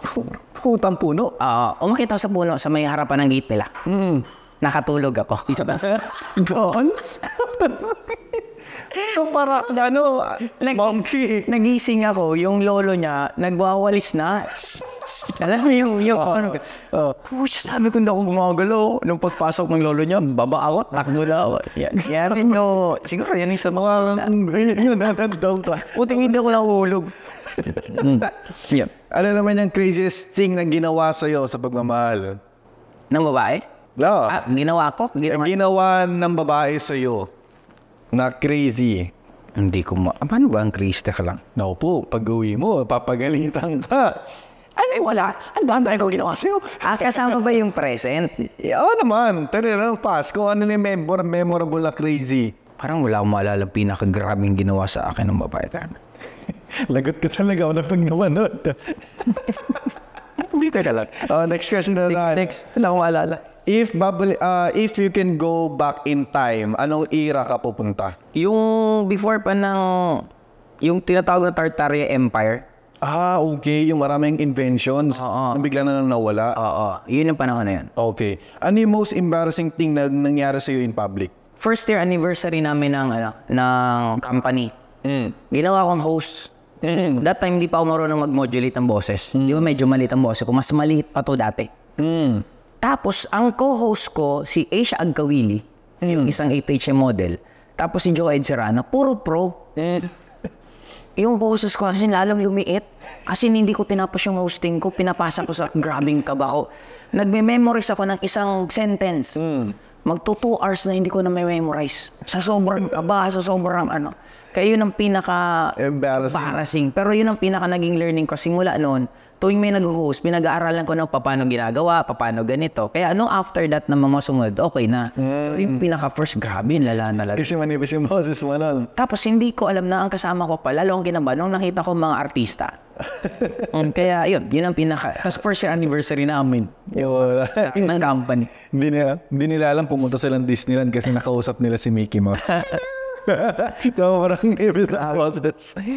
Ano yung ano na lang, um, if kakain ka ng isang food for the rest of your life, anong food siya? Adobo. Ano yung pinaka-best prank na ginawa sa'yo? Parang wala. Ano yung pinaka-best prank na ginawa mo sa ibang tao? Wala din ako maalala. Pero, Parang wala, hindi ko masyadong mahilig eh. Sabi mo lang, pass kung ayaw mo. If magpapalit ka ng buhay ng isang tao, magsiswitch kayo ng buhay for a day, kanino siya? Kaya ano, Elon Musk, Bakit? Gusto ko lang ma-feel kung ano pakiramdam ng isang taong ganun katalino. Mm. If magkakaroon ka ng superpower, anong superpower na ang gusto mo? Teleport. Bakit? Makakapunta ako sa lahat ng lugar na hindi ko alam ng visa, hindi ko alam. Ang laki ng matitipid ko at ang dami kong trabaho magagawa. Ah, Kasi wala akong travel time. Diretso.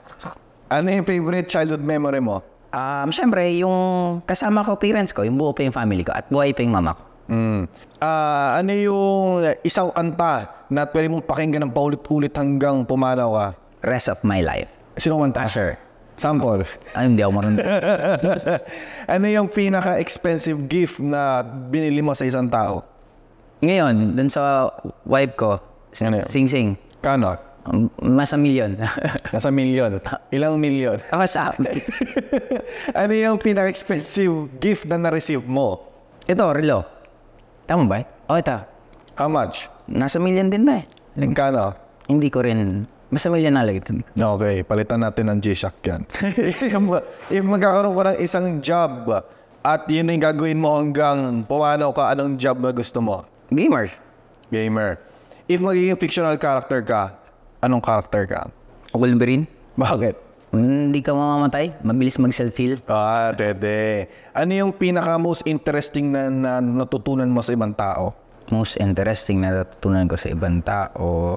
Lahat na nangyayari sa bawat isa, nangyayari din sa bawat isa.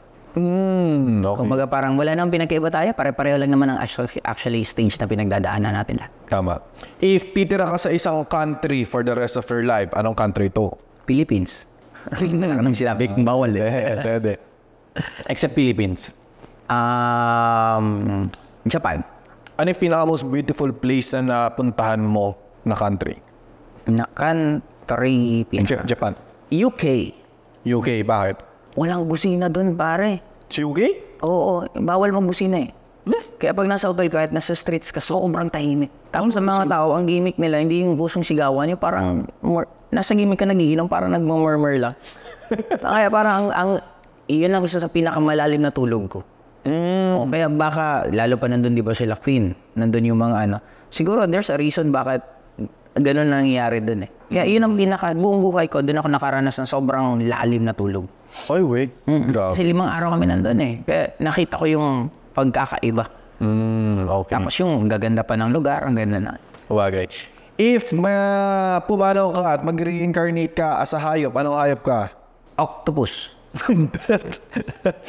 In-expect ko lion, agil, octopus. Bakit na octopus? Isa sila sa pinakamatalino sa problem solving. Sobrang talino ng... Isa sa pinakamatalino ng hayop. Okay. Ah, meron ka namang mga pet? Meron naman. Anong pet mo? Aso. Um, Ah, ano yung gusto mong next na pet?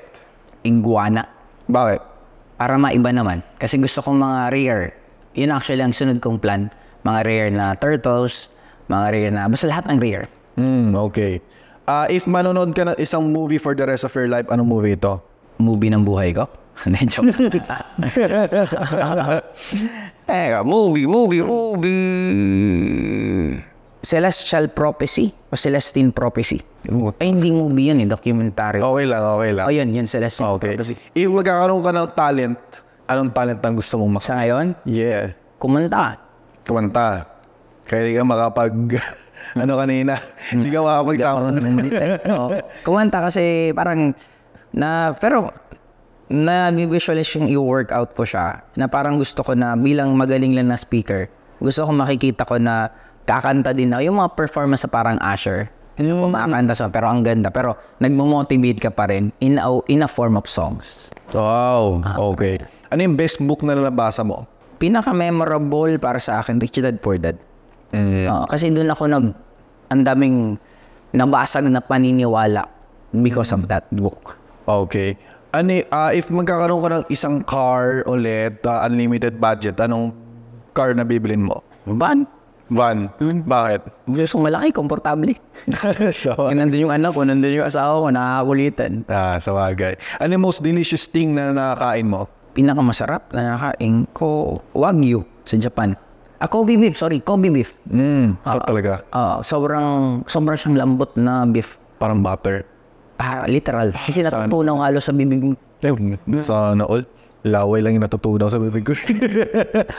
if magkakaroon ka ng isang hobby na pinapangarap, anong hobby ito? Na gusto mong gawin? Pinapangarap ko, ibig sabihin hindi ko pa...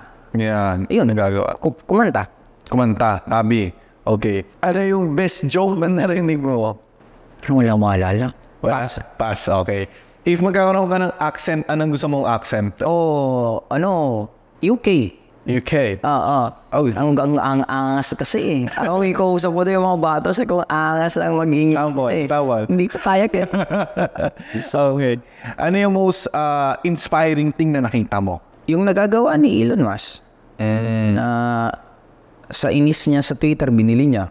Tapos tinanggal niya yung mga tra- nagtatrabaho. Di ba? Ganun ka kayaman na bili ka ng kumpanya pag bad trip ka dun sa kaalaban mo, tapos paalisin mo. Di ba? Iinisin mo lang. Di ba, dala-dala siyang inidoro ba yun? yung pag sync. Oh, icing or icing, yung dala niya para mang asar lang. Oo. Ganun ka ka-astig eh. Parang sinabi, ang caption niya doon, let that sink in. Ah, Lupit eh. Balit eh. Ano yung ano, ah, pag bibigyan ka ng isang hairstyle, papalitan mo yung hairstyle mo ngayon, anong hairstyle na gusto mo? Kalbo. Kalbo, except kalbo. Yung butterfly noon, yung gano'n, no? Yung us- ayun, panahon namin. eh. Pero bagsak na. Ang buko kasi wavy, kaya ang pangit mag-butterfly. Ah, wavy ka? Ah, okay. Kaya gusto ko yung butterfly dati, yung mga pang, yung mga panahon nila Patrick Garcia. Yeah. okay. If mananalo ka ng 100 million sa loto, anong gagawin mo sa pera na to? Wala lang. Sa ngay- Wala lang. Parang, kung ah, sa sitwasyon ko ngayon, kung mananalo, kahit pamigay ko lahat. hmm? No, may pera pa naman ako eh. Papamigay mo lahat? Okay.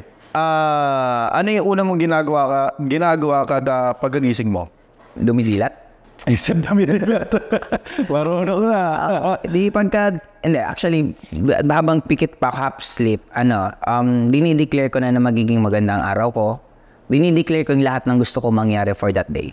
Mm. Ano naman ginagawa mo bago ka matulog?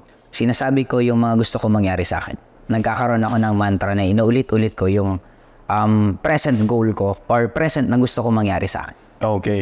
What does success means to you? Um, balance, Balanced life. Shopee or Lazada? ano na lang, Shopee, GMA or ABS? ah? ABS, Coffee or tea? Coffee, McDonald's or Jollibee? McDo. Anong, anong bansa na gusto mong puntahan? Hindi ko pa napupuntahan o Gusto pupuntahan. mo puntahan ulit, ikaw bahala. Um, Japan. Saan lugar sa Pilipinas sa one pong tirahan? Ang, ano? Saan lugar sa Pilipinas ang gusto mong tirahan? gusto kong terhan. Siguro sa, ano yung purong, purong green? Bataan ba yun? Batanes. Batanes. Yes. Batanes. O, kaya maiba ng sobrang tahimik. Kasama mo yung mga ka- kalabaw. Mamahalin mo pa rin ba ang partner mo kahit may age siya? AIDS as in sakit na AIDS? Yeah. Oo naman. Oh, mabait or maganda? Maganda. Mestiza or morena? Mistisa. Lights on or lights off? Depende sa kasama. Hindi joke. lights off pag medyo... Eh, mas gusto ko actually lights on. lights on. Patok ka, patok siya. Siya? Siya. Pag tinatawad. Sex or chocolate? Sex. What is the best podcast in the Philippines? Siyempre, Lazy Genius Podcast. Thank you sa pagpupunta, Joseph Lim, sa ating podcast. Talaga, ito yung pinaka na hinihintay ko sa ating podcast. At meron ka ba mapopromote sa ating uh, podcast, sa mga social media mo, or business mo, or etc. Ano lang, um, follow my YouTube channel, Joseph Lim. Mag-comment, mag-like. Yun lang po. Okay na ka Thank you. Ay, thank you sa, pag sa pagpupunta sa ating podcast at we'll see you on the next episode. Goodbye.